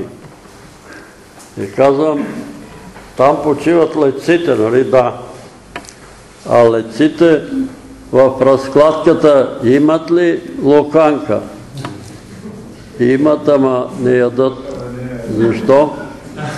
Ами защото ние, вика, с домакинката си я продаваме и си делиме парите. А детето ти е сляпо. И искаш Бог да го изцери. Ама брат Петре, аз ако се откажа, вика, от луканката, тя ще ме уволни. А тук наши Самоков не може да се намери работа. Еми, ели уволнение, ели изцарение на дъщерята. Е, добре. Не бой се, бе, кажи си на домакинката. Кажи истината. Детето ми е сляпо. Имам проблеми. Мъжа ми е болен. Не мога да си имам повече пари. Дойде човек и каза, виждам, локанка. Никой не му е казал. Кажи на дума, тя ще те разбере. И ще вземе друга партньорка да си. Обаче вие правите зло. Тия леци са натоварени горе имат такова натоварване и те трябва да се хранат с добра храна, а вие ги храните сигурно с боломачи там. Нали? Те са дошли да заяхнат, а вие им взимате луканка. Ма то може и луканката да не е била полезна за леците, ама както и да е. И тя вика, добре. И понеже аз чух от брат Пламен, че тя ще вижда черно-бело, я питам, Саша, виждаш ли какво е това, какъв цвет има? Не, това е черно, а това е бяло. Само черно и бяло. Черно и бяло. И един ден Костадин Бранков е на Авона. Сашка е по средата на с майка си там. И изведнъж, както говори Бранков, Сашка скача и вика. Връзката на брат Бранков е синьо и червено. Точно такъв вам беше. Синьо и червено. Поша да вижда и четвете. И гръмна там само куп, Сашка е прогледнал. И след следващата неделя или следващия месец братята пастири казват Петър Велев няма да проповядва повече в само. Защо бе, братя? Защото Петър Велев е нарекал майката на Исус Богородица. Ау, какъв е. Абе, викам, чакайте да се разбереме. Елисавета, като дойде, майката на Исус, я изпълни Святия Дух и тя каза, откъде ми е да дойде майката на моя Господ? Майката на моя Господ. Господ, Исус, Бог ли е? И Бог е. И тя майка му, каква е? Каква е майка му? До тука, до тука си.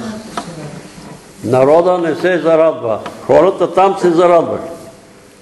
И сега ние отиваме години наред същата църква и о, брат Петър, здравей, здрасти, какво правиш, защо не идва само? Викам, вие помните ли Сашка? Да. Беше ли сляпа? Беше. Прогледна ли? Прогледна. Е, да, ама тя почва се разболе, вика, от бъбреца недостатъчно. Ама аз ви питам, беше ли сляпа?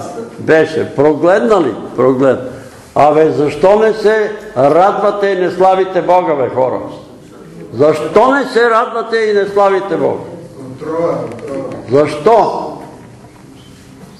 Защо? А тук прославиха Бога. Идва едно момче, Иво, 7 годишен, и редовно идва на нашите богослужения. И ние се молим. Иво не може да каже една дума. А, и край. Няма. Един ден слизам, но той седи отпред и ми гледа. Е така седи очички, ама така ме гледа.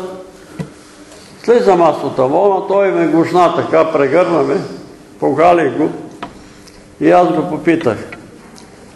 Иво, обичаш ли Исус? И той, да!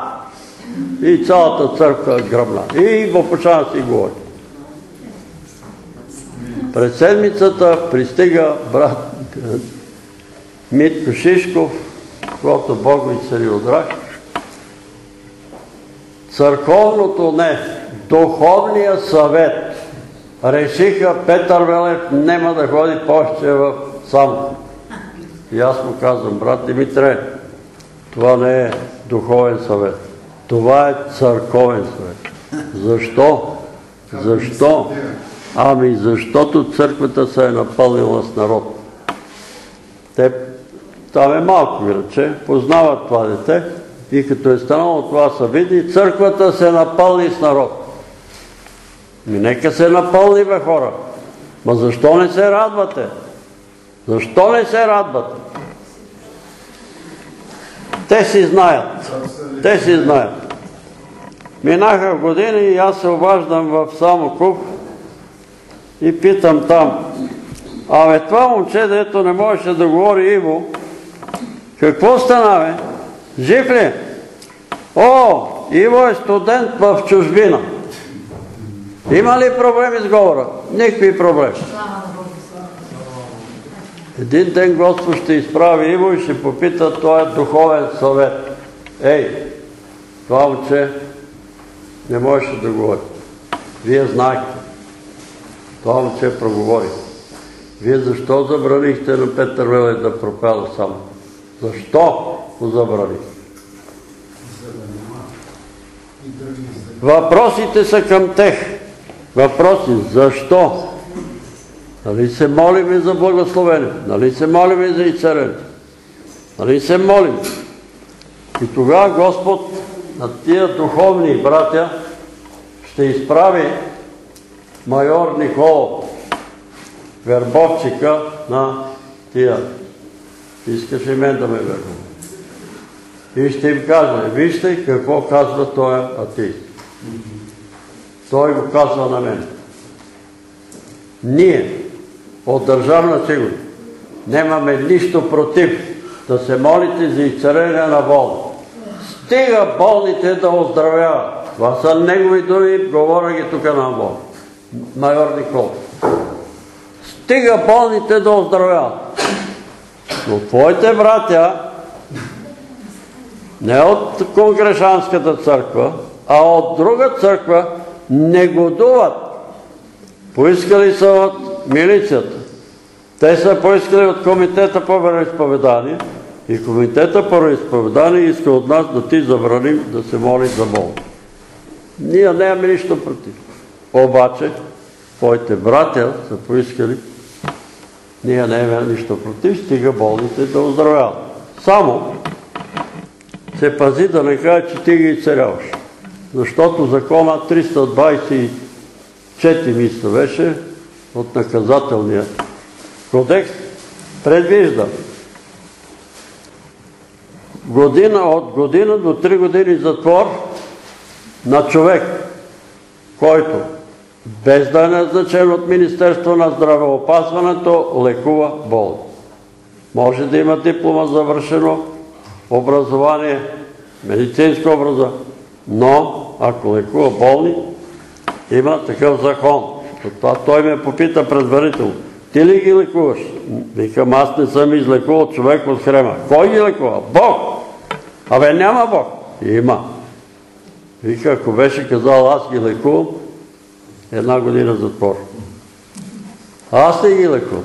Мога ли аз да отворям очите на Сашка и на Иво да му отворя, да му отворя езика? Не мога, Господ го прави. Го, аз само го попита, Иво, обичаш ли Исус? Исус го освободи. Това е. Това е, братя. Тук се радват евреите на Вартимей, нашите братя викат, забраняваме ти да проповядваш ти, нямаш образование, ти нямаш право. Нямам право. И защо този наш брат, християнин, началника, началник ли е директор на по вероисповеданията. Петър Велев ли е на телефона? Да, заповядайте. Абе на тебе кой ти е разрешил да проповядваш? Да проповядваш. Бог. Ще ти дам аз на тебе един Бог. Нямаш право да проповядаш. Знаеш ли кой се обажда? Викам, знам. Кой? Некой антихрист или комунист. Той ми ще видиш ти един антихрист. Обажда се началника по вероисповеданието. Директора на Забранявам ти да проповядваш до септември месец да си слезнал от тамбона. Викам, няма да слезна. Как така? Ми е така, няма да слезна. Август месец излиза в пресата. Директора на дирекция по вероисповедана е бив директор, бив служител на държавна сигурност и го свалиха от дирекцията.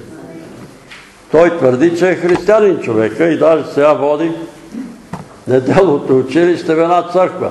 Дай Боже, нали? Ама това беше истината. Говорете истината и не се бойте. Това ми каза човека, забранявам ти, бе, не може да ми забрани.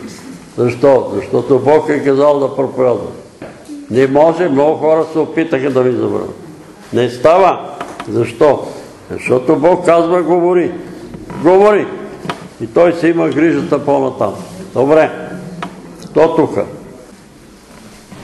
Сега, ако имате някакви въпроси към прочетеното слово, към тия неща, но ако са във връзка с Словото. Не за неща, които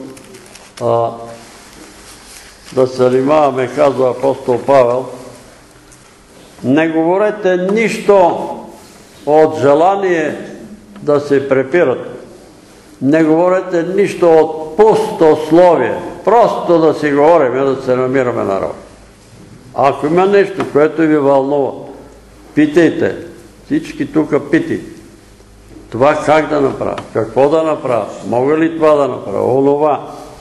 Не ми е ясно тук. Защо Господ каза така да пуснем децата? Защо това? Защо? Ама това ви вълнува и ви интересува, а не да се препираме кой е прав, кой е крив. Защото до един сме криви. Но е нема един прав. Така казва Писание. Само ти единствен си праведен Господ.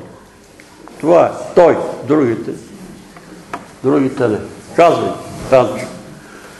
Би ли разказал с няколко думи за скромността на Джон Уесли, защото мене ме впечатли много. Ами, Панчо, това е извън темата, но какво да ти кажа? Ти си чул нещо и си... Да, за, за това, че е взимал една и съща заплата от начало до край. Независимо от това, че... Еми, аз съм го казвал заплата. това, че той са му носили много пари, но той ги е връщал и си имал една и съща заплата, затова казвам и за Били Грейм, взимал си една и съща заплата на един провинционален. За съжаление, много пастири казват, ние не може да живееме така, а живееме, трябва да живееме като едни над средното ниво българи. Пастирите, това се го казват хората. Живота на пастирските семейства трябва да бъде над средното ниво. Защото така живеят и свещеници.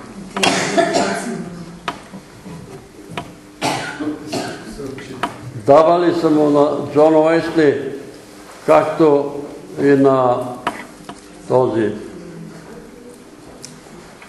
какъв беше, Били Грем? и Били Грем и още един има там, американец Чикаго. Торби с пари се им дава, но те са ги връщали обратно. Торби с пари, защото огромни територии, огромни хиляди хора, хиляди хора. Но Тори и Муди, Тори,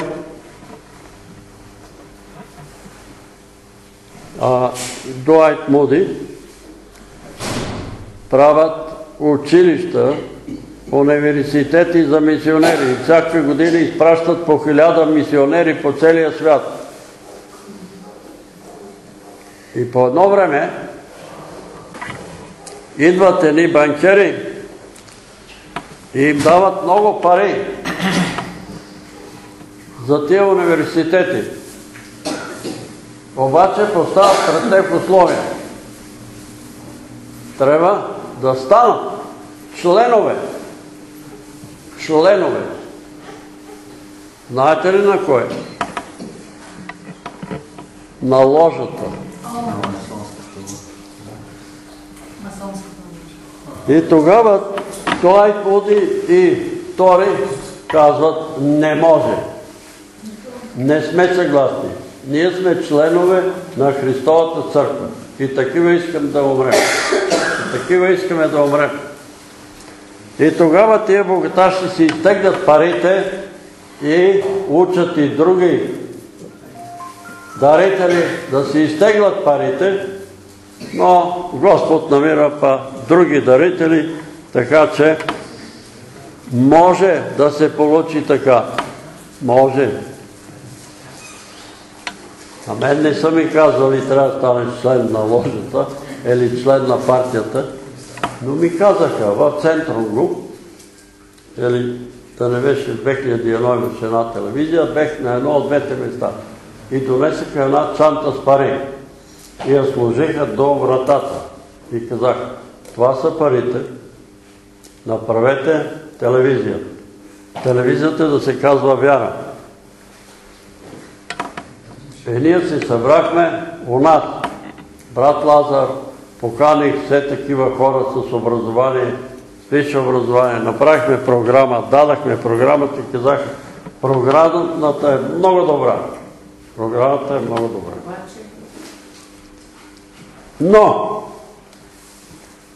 искаме от теб много малко нещо. От време на време ще говориш нещо против православие. От време на време ще говориш нещо против католици. От време на време ще говориш нещо против протестанти, против евангелисти. От време на време. И аз казвам, от време на време няма да говоря ни против протестанти, ни против католици, ни против... Как ще говоря против? Това са моите брати и сестри. Как да говоря против? Абе по нещичко. Не знаеш ли там за инквизицията? А, инквизиция имаше и в България. Навсекъде имало инквизиция. И аз си тръгнах и се отказах. Брат Лазар обаче остана и ми се обажда по телефона. Брат Петър, какво да правя? Това е твой проблем. Аз в такива пазарлуци не мога да се хвана. Ама ще ни дават такива заплати. А, заплати не, аз проповядам без заплати. Предлагат ми 1700 лева заплата на брат Лазар. Какво да правя? Към твой проблем. Ти на мое место какво би направил? Аз на твое место бих направил това, което направих. Това ще направя, което направих. След няколко часа пак ми се обърна. Абе, брат Петре, абе, помоли се, Господа ти каже какво да правя. Нема какво да се моля, аз знам какво да направя. Какво да се моля на Господ да ми каже да постъпа обратно. Нема да става. И накрая ми се обажда и казва, напуснах телевизията. Свали се страшен товар от гърба. Ама нещо страшно се свали от гърба. Вие разбирате ли как се работи? Малко нещо, малко там, тук отклони, там се отклони, нали, кажи, еди какво си и няма проблеми. Какво трябва да правим? Верни. Казва апостол Павел, от нас се иска, Господ иска от нас да бъдем верни. Край, до там. Нема царе, господари, евангелизатори, щом се отклонява от Божието Слово на страни. Няма да става. Нали? Дойдоха тоя, гайдарите, Стефани, Къвеши и Цветан.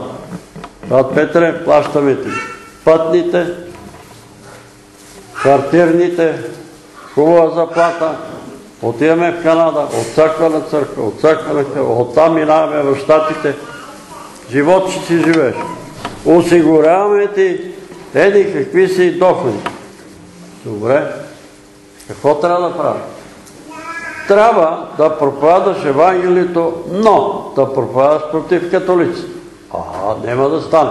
А защо бе? Те католици са отстъпили, те не те са редици, те са. Ами не им знам учението на католиците. Аз трябва да завърша един колеж католически и тогава да мога да говоря против... Е, то толкова не знаеш, вика, за инквизицията. Знам нещо писано за инквизицията, което я е вярно, ня не е вярно. Некой е вярно, нещо не е вярно. Ами там некои са ги горели. Ами мога да са ги горели, викам, и затова тия дето са ги горели магиосници, сега няма толкова магиосници като в България. България е пълно с магиосници.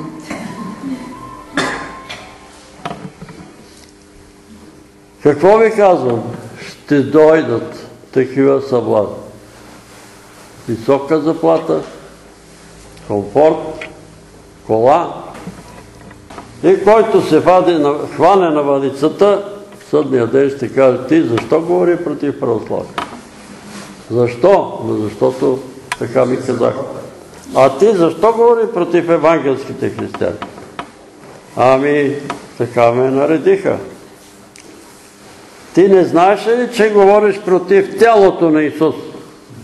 Против тялото на Исус Христос, което се състои от всички повярвали в Господ Исус Христос, човеци на планетата, които са повярвали поред символа на вярата, че е син на Бога, че е роден от девица, че е умрял на Голгота на кръста за греховете на целия свят, че е възкръснал за нашето оправдание и че ще дойде втори път на тая земя да съди живи и мъртви и че казва, като дойда ще намеря ли вяра?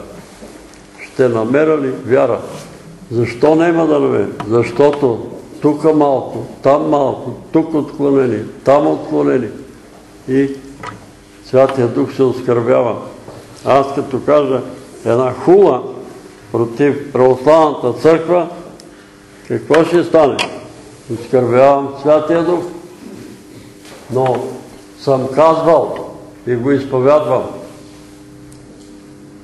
Бех надъхан много. Нали? Че съм новороден, че съм изпълнен със Святия Дух, че съм такъв, такъв, такъв, ти си такъв, ти си инакъв и отивам в Александър Невски. Е, обикалям и разглеждам иконите. Кана Галилейска, Свети Кирил и Методий, направи впечатление там в ъгъла. Сега не знам, трябва да отида да видя. Има там патриарх Ефтими, свързани ръце, е казал така над пропаста и един с един меч над главата му и ръката му се е дървила, но го скриха това, защото да не разсърдат турците. Сега не знам дали. Питам ги там, какво стана тази картина? Защо не има тук? Но вика, сега ще се реставрира. Сега ще се реставрира. Какво се реставрира? Това е история. Какво, има да криеме? Това е истината. Това е истината. И тогава сина на Баязит казва, този човек е светец. Оставете го. Оставете го. Патриарх Евтим. И там има на Патриарх Евтим един паметник. И братя пастири се определят среща и аз ги слушам. Абе, къде да се видим? Абе, при попа, бе. А кой поп, бе? Абе, при попа, бе, нали знаеш има един поп? Какво е това? Тая почита, бе, вие българи ли сте? Абе, този свят човек моли да се подиграва. Попа. Влизам в Александър Невски, обикалям, още не, си, не бех така утвърден във вярата и виждам хората, нали, едни се кланят, едни насам, едни натам, но е така върват, може би нямаше богослужение. Излизам на столбите отвънка, като слизам на столбите си казвам, вътре в мене, абе празна работа. Палат свещи, кръстат се, целуват иконите, ама това е празна работа. И през нощта сънувам. Сънувам, че съм в църквата, обикалям всичко това, което стана и слизам по стълби. И казвам, празна работа. И изведнъж поглеждам над стълбите. Един ангел, сега чета за ангелите, че нема ли крила. Ама аз го видех с крила. Грамаден ангел стои във въздуха на стълбите на Свети Александър Невски и държи едно такъв един уред, който е с дръжка като меч. Ама не е меч, а е горелка. Тия, нали знаете, дето заваряват електроженици. И една горелка и горе е такъв един огън. И той, тая горелка над главата ми. И той ми каза, ти защо казваш, че богослужение в Божието име е празна работа? Така се събуди. И после знаете какво стана с брат Петър Воров. Проповядвал, че това е празна работа и Господ не иска да го изцели. Където са събрани двама и трима на Болина Иван, в Александър Невски, католическата църква, на Бача Киро, двама и трима, Исус е там. Исус е там. Не може да бъде празна работа. Разберете. И благодаря на Бога, че ме изобличи. Празна работа, ли? И после, оле, откъде ми дойде това? Ми, оле, оле. И това трябва да внимаваме. И така, брат Панчо, кажи ти за Жон Оестик, какво знаеш, какво си прочел, ти направо впечатление. Нали, брат Иво казваше, че той имал само 6 сребърни лъжици, нямал нищо друго. И накрая, като умирал, казал тези сребърни лъжици да бъдат продадени и да бъдат раздадени парите Парите на сиромас. на сиромаси. Ами има много такива. Аз ви казвам, 31 декември, прочетете си, там има една жена светица Мелания, която е била Римлянка. много богата римлянка, за е починал. И нейната внучка се казва Мелания. И тия жени, тия жени, богати римлянки, са раздали парите си и самите те са организирали и са правили болници. Болници, църкви, манастири, общежития и самите те са работили вътре в тия болници. И аз ги сънувах в снежно-бели дрехи. Мелания, не знам коя, Павлина, Мелания, ето ги тия жени. А тия снежно-бели дрехи са праведните дела на светиите. Това са направили тия жени. И вие, ако имате такива богатства, правете нещо такова. И в католическата църква, нали, те не са католици, но са римлянки, много хора правят точно тия дела. Дават на болници, работят, между другото, между другото, не знам дали знаете, но католическите свещеници учат и медицина. Те учат и медицина да могат да превързват, да помагат каквото могат на болни. Нали да се грижат. А не викам, те са еретици, те са еретици. И когато Господ ме разведе и ми каза, ще ходиш във всички съществуващи църкви в София. Тръгвай. Отивам доктор Лонг. Преди обаче да отида в доктор Лонг, една рота войници. И аз питам, Господи, какви са тия? Зенитна артилерия. Пред вратата на доктор Лонг има зенитна артилерия. Такава и не мислят. Но искам да ви кажа, че пред вратата на всяка църква има ангел. Пред вратата на всяка църква има ангел. Отивай в на Бачо Киро. Какви са тия тука? Танкисти. Танкисти. Отивай в Божия църква. Гледам, преди да отида само. Кавалерия. Кавалерия. Препускат. Викат. Слава на Бога, нали? Живи. Иди православната църква. Тия какви са тук, Господи?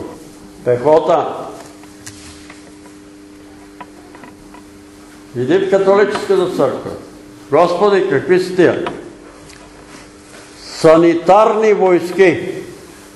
Санитарни войски. Помагат много на хора, които са болни и вършат добри дела. И всички еди от тия, от тия, нали, поделения на църквите са на една и съща армия. На една и съща Христова армия. Една и съща Христова армия. И след това сънувам на градинката на халите, строени една рота танкисти, една рота такива кавалерия, една рота артилеристи, една рота не знам какви, една рота медицински.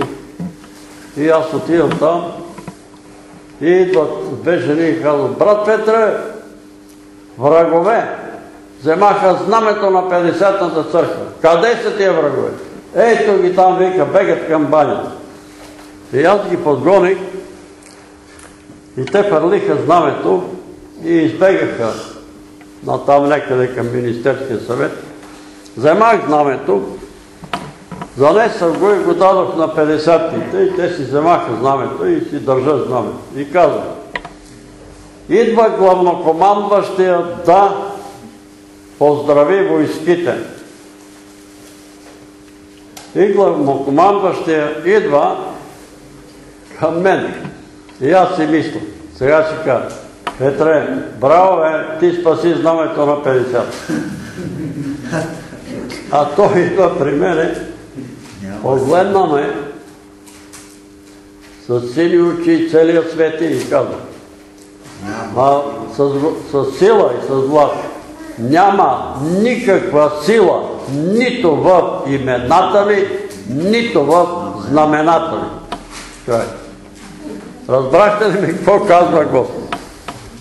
Това е армията на Бога, но не разчитайте на това име.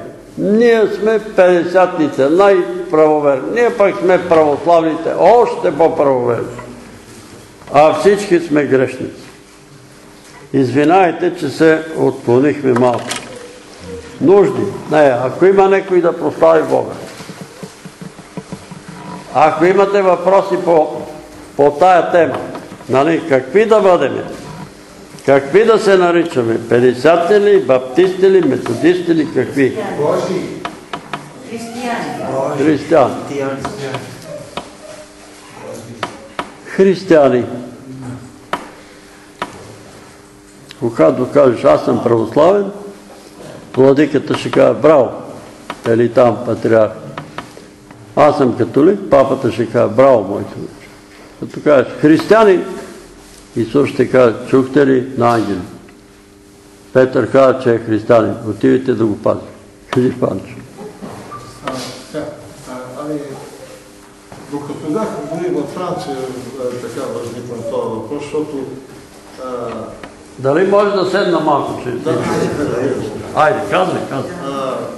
още до, преди години, когато бях там, бях възприял това, нали, това виждане за принадлежност към една или друга църква си, а, и си казвах, и бях възприял това да, да не се считам принадлежащ към една или друга, към една или друга там от съществуващите а, деноминации, а, да казвам, аз съм християнин. И там един брат ми възрази, а, да, но все пак нали, трябва а, да носиш, както в армията от определен род войски, трябва да имаш определена униформа и Униформа, да. определена, а, определена служба или служение. Нали, тук и до сега все още ме, така ме притеснява този въпрос, че не принадлежа- към никоя определена деноминация. Така. Ти, аз имах един сън за теб и за Димчо, че двамата искат, Господ, вие двамата да служите в авиацията. Обаче и двамата сте непослушни. Аз ви го казах и на двамата.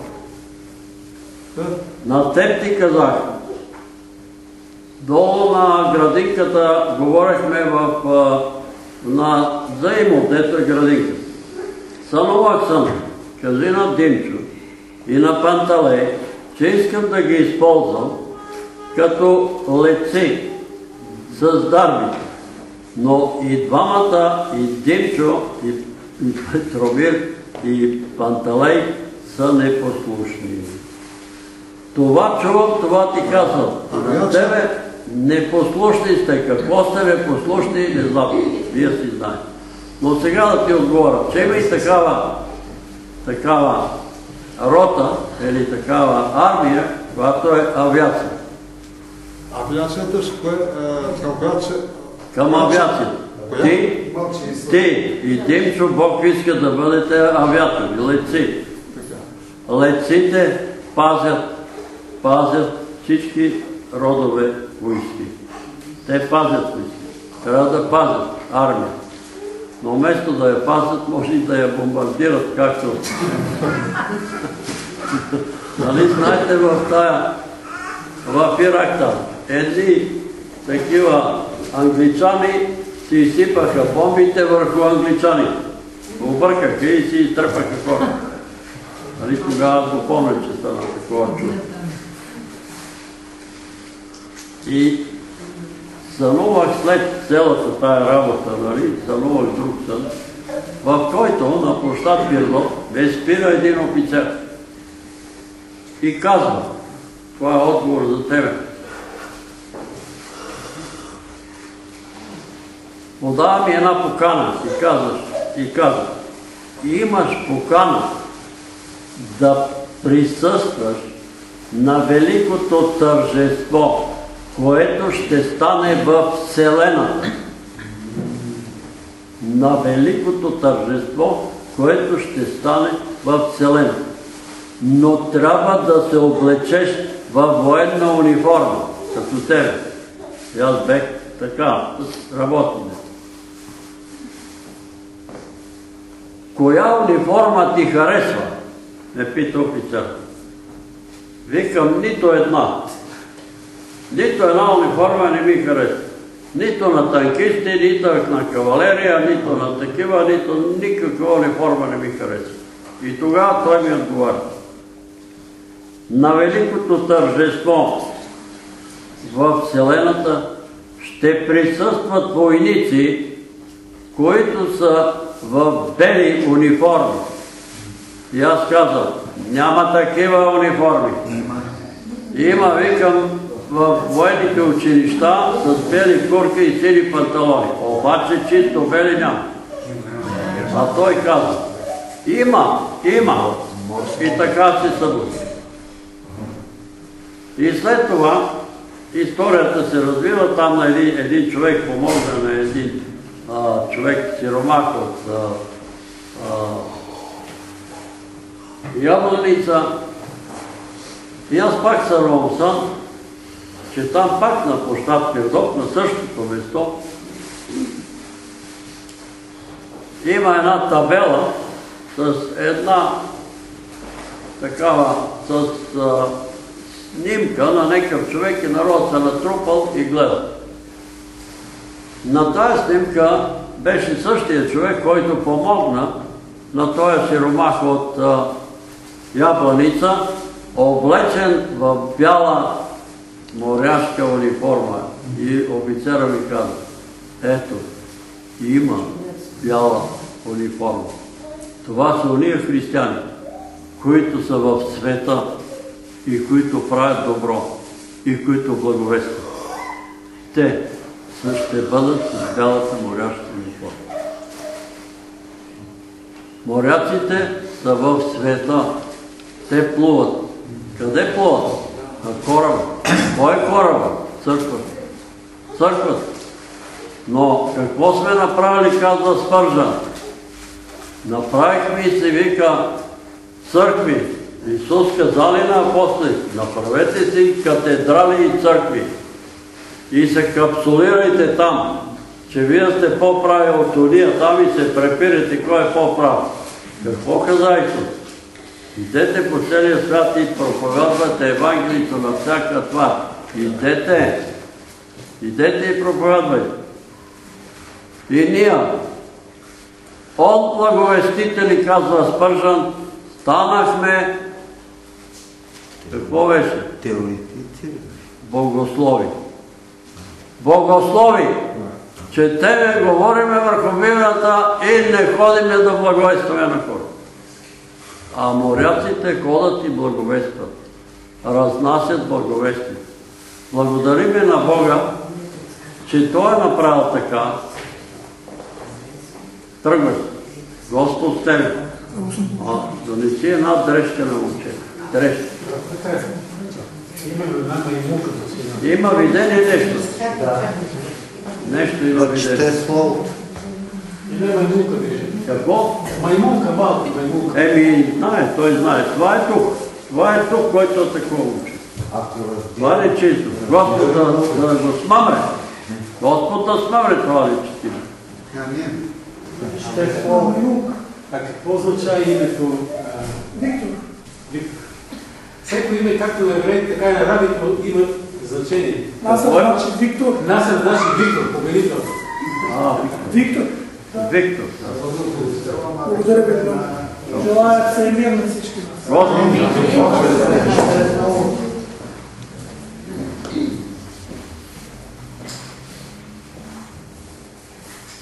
И така, брати и сестри, давайте моряци, обличайте моряцката униформа и благовестите на това. Кой колко може? Кой колко може? Всички човеци ги приемете, защото аз забелязвам както много християни се изолират. Количев казва, че сме се капсуловали, капсуловат се и казват, тия са грешници, тия са такива, аз тех не мога да говоря. Колкото и да е грешен един човек, помнете, че Бог го обича. Че Бог го обича. Бог го обича. И аз ви казвам това, което изживявам, когато се молим за болни. Когато един човек каже, че е много грешен, много, и вършил това, това, не знам какво правил. Мен ми изпълва любов към този човек. Идва помазанието на Святия Дух, тогава идва върху мен. С милост към този загинал човек. И веднага действа Святия Дух и го изцелява. Що почва да се прави на много важен? Нали? Че той не е сгрешил, че е пересятен, че е от четири поколения евангелист, че е от четири поколения на, на пастирска внучка или не знам що, в мен се надига нещо друго. Надига се гняв. И няма да има изцелен. Няма. Ето, аз ви казвам. Тидахме при нас една болна от рак. И тя казва, грешна съм, това, това, това направих, това, грешна съм. Тега, помолихме се, след една седмица влага. Жената е жива и здрава, рака го няма. Отидахме при друга. Сестро, грешила ли си? Има. Не, аз съм от четири поколения, аз съм от четири поколения евангелска християнка. От конгрешанската църква. Добре, имам въпрос. Кажи, брате. Имаш ли аборти? Е, имам един аборт. Имам един. Умря. И малко преди да умре, се изповядала там на сестрата, която изве. Излъгах Петър Велев, четири аборти. Абе и четирица да се имала мен, Петър Велев, кого интересува? Щеше Господа ти цели. Господ щеше да я цели. Ама не може да лъжеме и да ни изцелява. Не може. Видахте какво стана с Валентина. Тя започва да се подобрява, започва да се надига. И излъга. Прати тук една жена и излъга. Аз съм дала на Петър Велев сребро, злато и долар. Той да ти плати. Идва тук, бе, какво злато и сребро си ми дал? Обажда ми се по телефон. Ти какво злато си ми дала на мен? Аз съм ги дала на Георги Бахало, а Бог на теб ще ти ги даде на тебе, да ми ги дадеш. О, това работа имам с Георги Бахало. На другия ден умря. На другия ден си замина. Нали? И другата страна. Симеонка, е тук седа. Петър Велев ми взема натуралния акт от Гарченева. И Виктор Вирчев ми вика, абе върни натуралния акт на Симеон. А никакъв натурален акт не съм взимал. За какво ми е на мене натурален акт на некой си там? Получи, разболя се, докараха е тук, казах на този приятел на, на, на да отиде при Виктор и да каже Петър Валев не е взимал никаква да се изповяда, защото това е лъже свидетелство и Господ казва няма да остави ненаказан лъже свидетел. Можеш да се обзаложиш, че лъже свидетел няма да остави наказан. Какво стана Симеон? Отиди си. Отиди си. Разберете го това. Не може да се лъже тук в църквата. Е, тук застанаха две жени. Едната обвинява Мара Пашова. Ти си магиотница. И аз питам. Мара Пашова, магиотница, питам те Божието им. Не.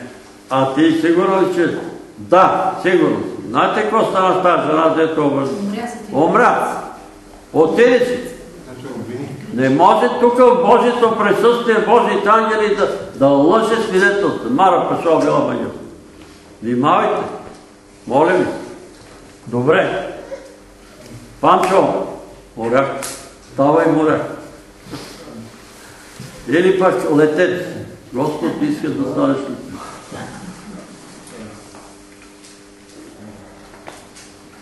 И сега ти си казваш. Абе от мене не става ни моряк, ни лете. Мислиш. А Господ казва, Божието Слово, Бог избира това, което е нищо, за да постраме онова, дето си го за нещо. Бог избира глупавите неща, за да пострами умни.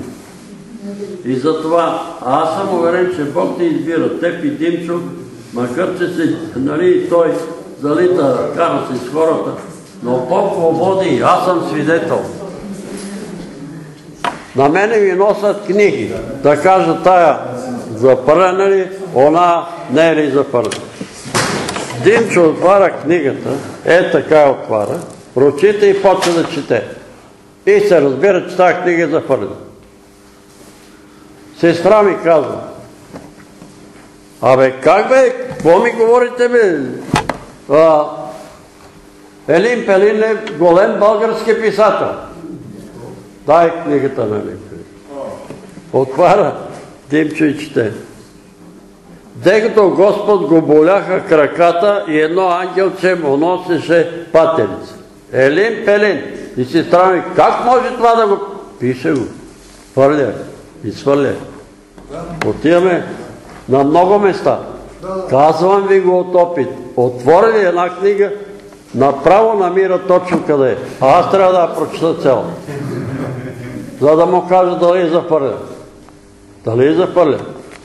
И тая, която тук беше дошла, не знам как се казваше, беше кожа и кости от кефир, дето живееше само от кефир.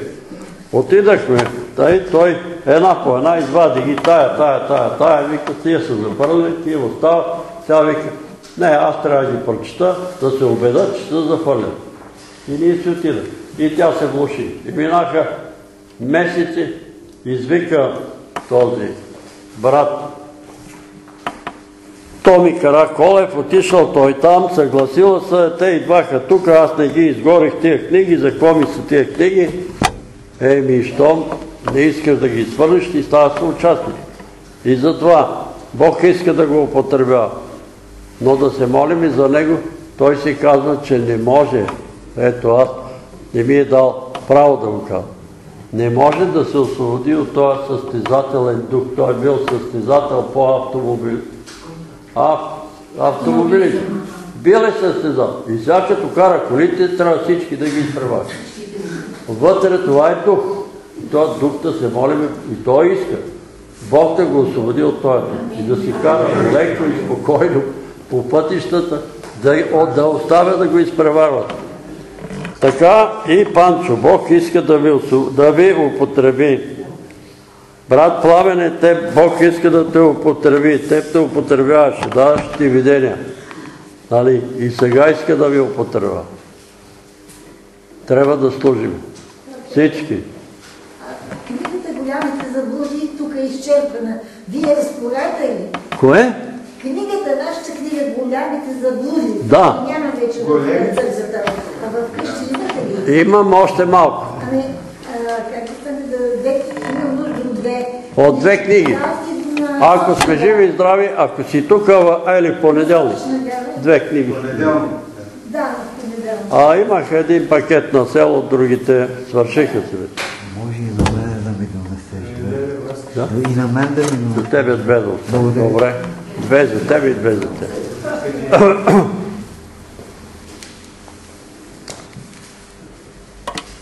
Ами остава пак да се помолиме.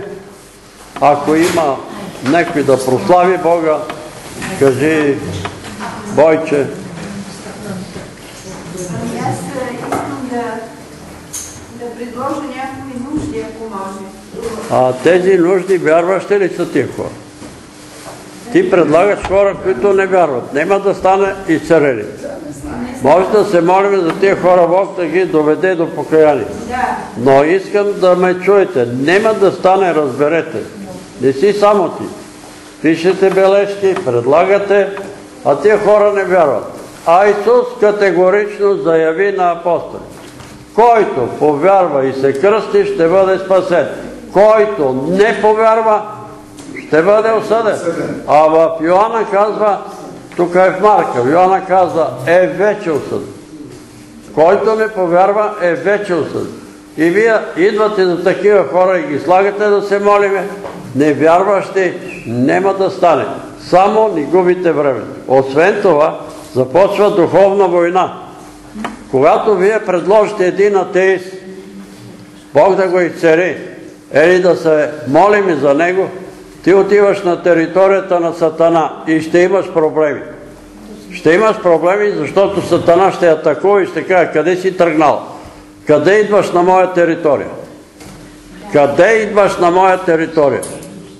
И такива хора страдат и са натоварени и имат проблеми, защото искат да бъдат по-милостиви от Бога. Ама нали писано да се молим за всички човеци? Да, Господи, благослови всички българи, води ги към покрада и така нататък. Но знай, че един човек е атист. Знай, че е богохулник. И го предлагаш тук да се молиме Бог да го благослови, ще получиш шамар. Ще получиш нападение. Защото това е човек на дявол. Той е слуга на сатана. Или знае, че някой човек е магиосник. Или е сатанист. И той казва, аз съм сатанист. И ти се молиш за него. И го докараш тук. Или го предлагаш. Ако той дойде и каже, аз съм сатанист, искам да се покая, ще се молим и за него. Тогава да. Защото аз съм се пострадал от такива, защото не послушах. Една жена в правец беше болна от рак и Господ ти каза, изневерила е на мъжа си, да се покая. Тя казва, не е верно. Мъжа се казва Милчо. А е, той е там такъв инструктор по автомото. Изневерила си с Милчо на мъжа. Не е верно. И аз почнах да се мола, един ритник в корема, тук ще да падна. Дявола ме изрита, това е единия. Другия начин, другия случай. Моля си там за една жена, която казва, какъв Бог? Има много богове в Народно събрание. И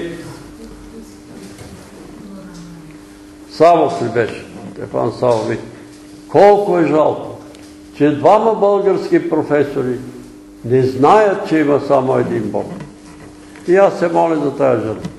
По същия начин, крака като ми изрита дявола, къде се моли за тази безбожница и антихрист? Разбери ме, искате да бъдете по-милостиви от Бог. Не може. Не може. Не може. Ще се молим, ако този човек каже, искам да се моля. Исус пита, какво искаш? Да прогледам. Ти, да ме очистиш от пръв. Ти, фарисейно, какво искаш? Ами, ти целяваш болните чрез началника на Везевула. Исус помоли ли си за него? Не.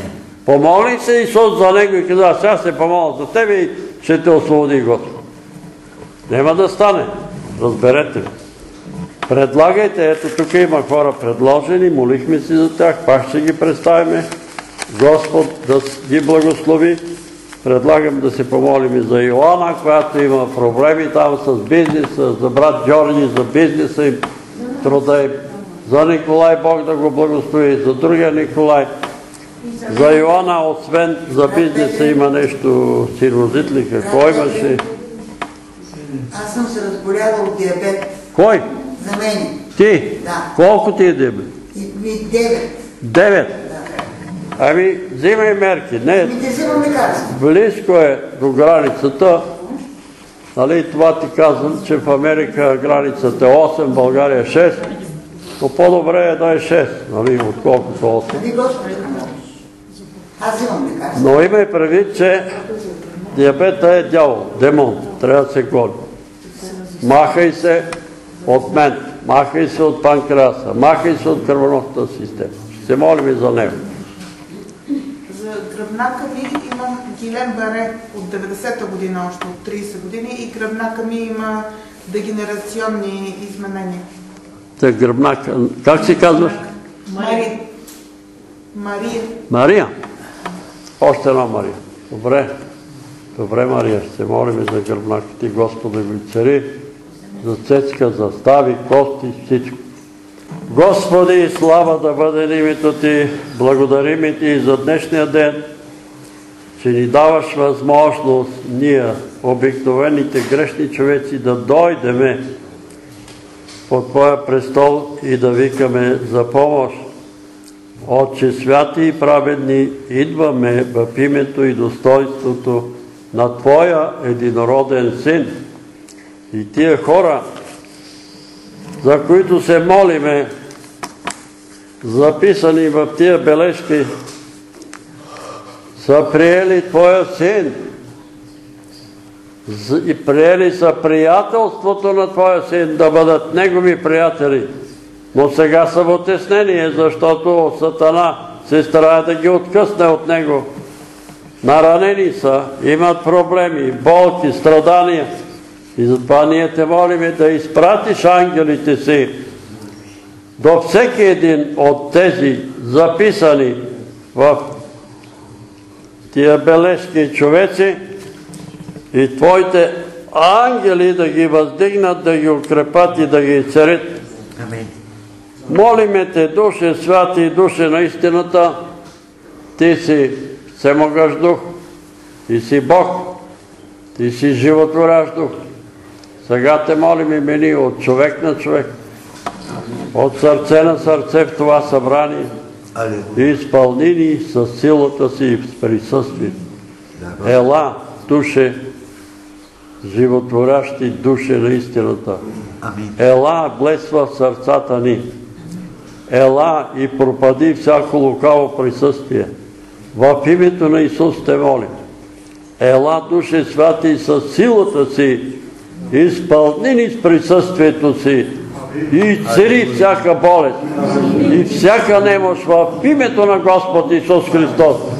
Всички болестни, зли, нечисти духове, в името на Отца, Сина и Светия Дух ви заповядвам да напуснете телата ни, душите ни, духовете ни, домовете ни, роднините ни. Отивайте там, където Бог е определил място за вас. Отче святи и праведни, погледни на нас през кръвта на Твоя Син. Помилвай ни. Исусе Христе, Сине Божий, молиме Те, застъпи се. Ти си нашият ходатай за всеки един от нас, който е съгрешил. Апостол Йоан казва, ако некой съгреши, имаме ходата и на небесата. Молиме Те, ходатаю, нашият ходатай, Господи Исусе Христе, застъпи се за всеки присъстващ на това място и за всеки, който е бил предложен тук в тези бележки, които ти ги знаеш преди да бъдат написани, и за всеки, който е представен с тези дрехи, освети тези дрехи. И когато бъдат поставени на телата им, да се разпръснат всички нечестивци, всички болесни, зли, нечисти духове да напуснат телата ни. В името на Отец и Святия Дух ти заповядвам, дух на диабет да напуснеш тялото на сестра Нева вън. В името на Исус напускай духа, душата и тялото й. Молиме те, душе на истината, святи Боже, душе животворящи, душе, който твориш живот, в името на Господ Исус Христос, те молиме сега да ни посетиш, да ни изпълни с присъствието си, да и цариш всяка болка и всяко страдание. Молиме Те в името на Отца, Сина и Святия Дух да бъдем изцерени от главоболия, от синозите, от болки в ставите и костите, от болки в мускулите. Изцерявай, Господи, сърца, изцерявай кръвоносни съдове, изцерявай разширени вени, изцерявай Господи, бели дробове, изцерявай черни дробове, изцерявай жлъчки, изцерявай гърла, изцерявай трахей, изцерявай хранопроводи, изцерявай панкреаси, изцерявай генетали, Изцелява и кожни заболявания. И душевни проблеми и душевни заболявания. Развързвай и освобождавай насилваните от дявола. Слава да бъде на името Ти. Халилуя! Слава да бъде на името Ти, Господи! Молиме Те за съвършено духовно и физическо здраве. Молиме Те за благословение, материални и духовни благословения за Твоя народ. Помилвай ни, Господи, бъди с нас, ръководи ни, пази ни, възстановявай ни, Господи, молиме Те, предай ни вяра. Амин. Молиме Те, Господи, когато дойдеш да не е оскудела вярата ни, Амин. но да намериш в нас вяра. Алилуя! Молиме Те, Господи, укрепи надеждата ни и запали душе святи любовта в сърцата ни, един към друг и към нашия всемогъщ Бог, да гори сърцата ни Божията любов. Слава да бъде на името Ти, Алилуя! Сега всички заедно желаем да Ти се помолиме с молитвата Отче святи и праведни, Творече и Господарю на Вселената, която Твоя Син, Господ Исус Христос ни е научил да се молим и като се молиме да казваме Отче наш, който си на небесата, да се святи името Твое, да дойде царство Твое, да бъде волята Твоя, както на небето, така и на земята. Хляба наш насъщни, дай го нам днес и прости ни дълговете наши, както и ние прощаваме на нашите длъжници. И не ни въвеждаш в изкушение, но избави нас от лукавия, защото е Твое царството и силата и славата во веки веков. Амин. Вярвам в Бог Отец, Вседържител, Творец на небето и земята, на всичко видимо и невидимо, и в един Господ Исус Христос, Сина Божий, единородния, който е роден от Отца, преди всички векове, светлина от светлина, Бог истинен от Бог истинен, роден, несътворен, единосъщен с Отца, и чрез когото всичко е станало, и който заради нас човеците, и заради нашето спасение, слезе от небесата и се въплати от Духа Святаго и Дева Мария и стана човек и бе разнал за нас при Понтия Пилата и страда и бе поверен и възкръсна на третия ден според Писанията и се възнесе на небесата и седи от дясно на Отца и пак ще дойде със слава да съди живи мъртви и царството му ще има край. И в Духа Святого Господа, животворящия, който от Отца изхожда, Когото ще се покланим и го на равно за Сина, и който е говорил чрез пророците пред нас свята, вселенска и апостолска църква. Изповядваме едно кръщение за опрощаване на греховете, чакам възкресение на мъртвите и живот в бъдещия век. Амин. Амин. Господи, молиме Те за тези дрехи. Освети ги, Господи. Освети и човеците, които ще ги приемат. И предай им вяра с благодарни сърца да Ти благодарят, за да може Божия Дух да действа и те да получат това, което очакват. Освети тези дрехи. Освети хората, които ще ги вземат.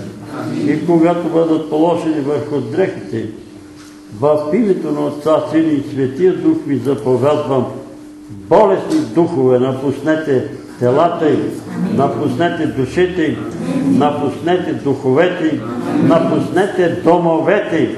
Отивайте там, където Бог е определил място. Заменяме ви с дух на сила, любов и съвладение. Амин. За брата, за Насър, аз го казах, за маймунката. Аз му казах за маймунката. Да, Една маймунка виждам. да, да. А дух, той каза, че сина му има някакъв проблем. Че За някаква сестра ти гониш или моли се този магеш, дух да се махне. За някакво магиошничество. В началото това беше не да, стана. да се предно. разруши това, ако е. За момент видях, пак виждам една елха с една петолъчка така се мерна горе. Сестрата, която има по тялото много сърбежи, петолъчката да се махне. Петолъчката. Много хора считат, че това не е нищо, но това е белег, който ни вкарва под проклетия. Бяла, зелена, червена, петолъчка символизира Иштар. Иштар, магиотницата, вавилонската магиотница. И е свързана с проклятия, вавилонски проклети. И за този Димитър не е очилата. Аз понеже предложих тук, той ми се обади по компютъра ми се обади. Да? А писах, това, което съм го написал, той ми го пише там. Сестра Розали. М, Сестра Розалия отделно. Димитър. За Димитър обаче не той е с очилата. А? Не с очилата, той е като бутонец. Висок е. И за него да. А, виждам така една малка костенурка, като че ли на брега на езеро или море ли. Водна костенурка виждам. Ми кажи му на него. Да, това е сега. Панчо, айде. Когато се моли за и благодари за това, че е разкъсана завесата между нас и Бога, действително падна, разкъса се една черна завеса. Господ ни приема. За сестрата, която има сърбежи и проблеми други, виждам един верижен колесен трактор. Жълт. Нямам представи какво може да значи това трактор. Прокарва, може би прокарва нов път, не знам. Нещо да може. Така. За брат с проблеми с съня, изповед по мирния договор. Имаш ли? Имаш ли да. Имаш. Така, това, беше, това бяха първите, от, от първата молитва бележките. Сега за втората молитва. Само секунда.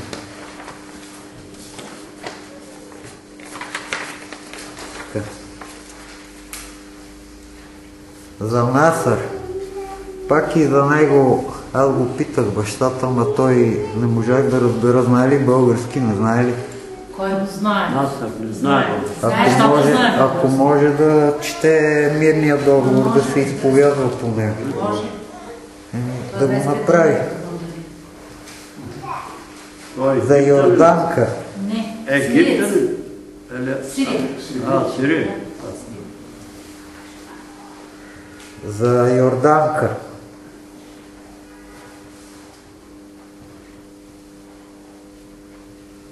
Секунда. Значи черно, а, черно чудовище, което държи пика в ръка. Това тризъбеца, който. А какво беше? За Йорданка, която има страх. Страх. Е, ти каза, че няма окулто, нали? Тя не се занимава с такива неща. Не се занимава. Та няма дома някоя магиосническа книга или Ванга, Дано. не знам. Ще питам. Някакви Ще такива. Оттам може да идва. Ще питам от понеделник. Така за Александър за съпруга. Отиде ли си? Да, отиде. Значи, казва ми се, църквата е по-голяма невяста, отколкото. А сега. Първо да увикне църквата, ще има и съпруга. За Димитър.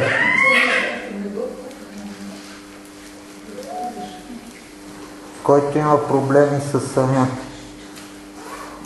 Да чете Словото. Аз а, винаги съм казал, че като не ме хваща сън, отварям Библията, чета Библията и ми се доспива и даже не знам как съм заспал или пък да се моля.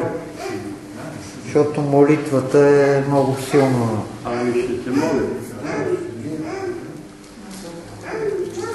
За всички зли магиоснически духове.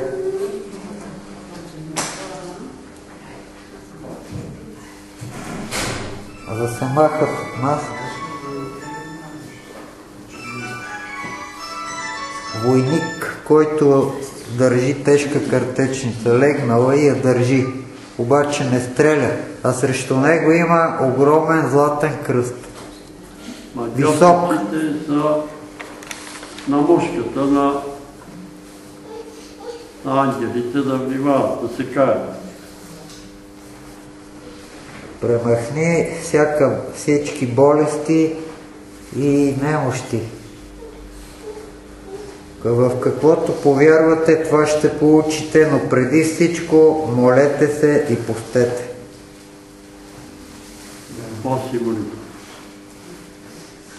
За бележките и за дрехите стои гълъб, обаче този гълъб не е изцяло бял, а има и черни точки.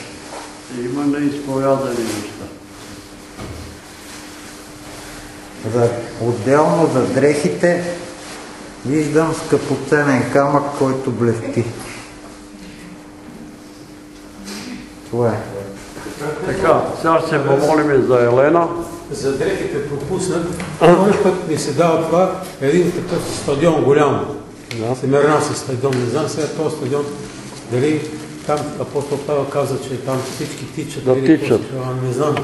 да тичат. За Мария, за Елена се помолиме за Галина. Галя, нещо има ли? Да ни предложиш, да, да кажеш нещо. Неква нужда. По-силно, че Бебето се роди. роди ли се бебе? Момче ли? Да е живо и здраво.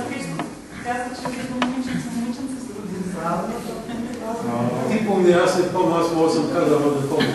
Слава здраве. Еми, роди се, ти толкова беше се оплашила, воля ли какво ще стане? Еми, ще стане, като всяка майка, така е, като се роди. Мога ли, понеже в понеделник не прочетахме 145 псалом, мога ли да го прочита? Това е няколко стиха. Ми, чакай да се помолим и тогава. Айде да се изправим. И за Веско, за баща му. Господи, идваме пак отново. Ти ни подканяш в днешното слово да бъдем като вдовицата, постоянно да викаме към Тебе.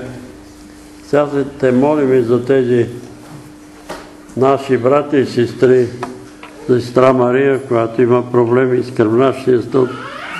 Ние те молиме, Господи, защото вярваме и знаеме, че за Тебе няма неизлечима болест, че Ти изцеляваш всяка болест и всяка немощ. И затова те молиме да я благословиш, каквото ти е съгрешило от малко момиченце до днес, да и, да и простиш греховете, ако има наследствена обремененост, да я покриеш. Ако има клетви за клина, да ти ги разрушиш и да възстановиш съвършенно духа, душата и тялото и да изцериш и да я помилваш. Господи, смили се за нея, молим те за Елена, Сестра Елена иска да идва на църква, но не може, защото има болки в ставите, колената, от цялото и ние те молиме тези болки да бъдат премахнати в името на Исус. Нека помазанието на Святия Дух да слезне върху сестра Елена и тя съвършено да бъде изцерена. Смили се, Господи, за Николай и дай му съвършено здраве. Отново те молим и за другият Николай да му подариш сън и спокойствие. Господи, аз съм свидетел. Сестра Минка не беше спала 14 години и само с една молитва тя започна да спи спокойно. Нека и Николай да спи спокойно. Господи, помилвай всеки един от нас. Молиме Те и за Любомила, и за Владимир, и за брат Пламен. Молиме Те за брат Тодор и неговата дъщеря. Молиме Те за Елка, Господи, и за това детенце. Господи, помилвай го и благослови го. Молиме Те за Лора. Молиме Те, Господи, за майка и за тия момичета, Кристина, отново те молиме за сестра Розалия и цари крака и цари крака, Господи, на Иван, малкото момче, да зарасне правилно. Благослови баща му Даниел и майка му Таня, помилвай ги, благослови ги, те имат някакъв проблем. Молиме те и за имела да зарасне крака и да бъде и царена. Молиме те за Мара Пашова, бъди с нея и помагай. Молиме те за Кристина, това момиче и цари го, Господи, от този дявол, който го измъчва. Молиме те за Емилия и за Кристина, другите двете момичета, които са болни от шизофрения. Отвори врати към тях, за да бъдат развързани, освободени те и целия им дом. Благослови ни и помилвай ни, Господи. И сега те молиме да минеш от глава на глава, да влезнеш в домовете ни със Твоя мир, с Твоите благословения. Господи, и Твоите ангели да се опочват около нас и домовете и родините ни. И сега благодата на нашия Господ Исус Христос, любовта на Бога Отца, общението и ръководството на Святия Божи Дух да бъде с всички нас, с домовете ни, с децата ви, с родовете ни, с църквите ни, с църквата на Господ Исус Христос на това място, в този град, в цялата ни страна и по целия свят, от сега и до века. Амин. Брат Панчо да прочете Прочета 145 псалом, той е кратък. Може да седнете. Душо моя, хвали Господа.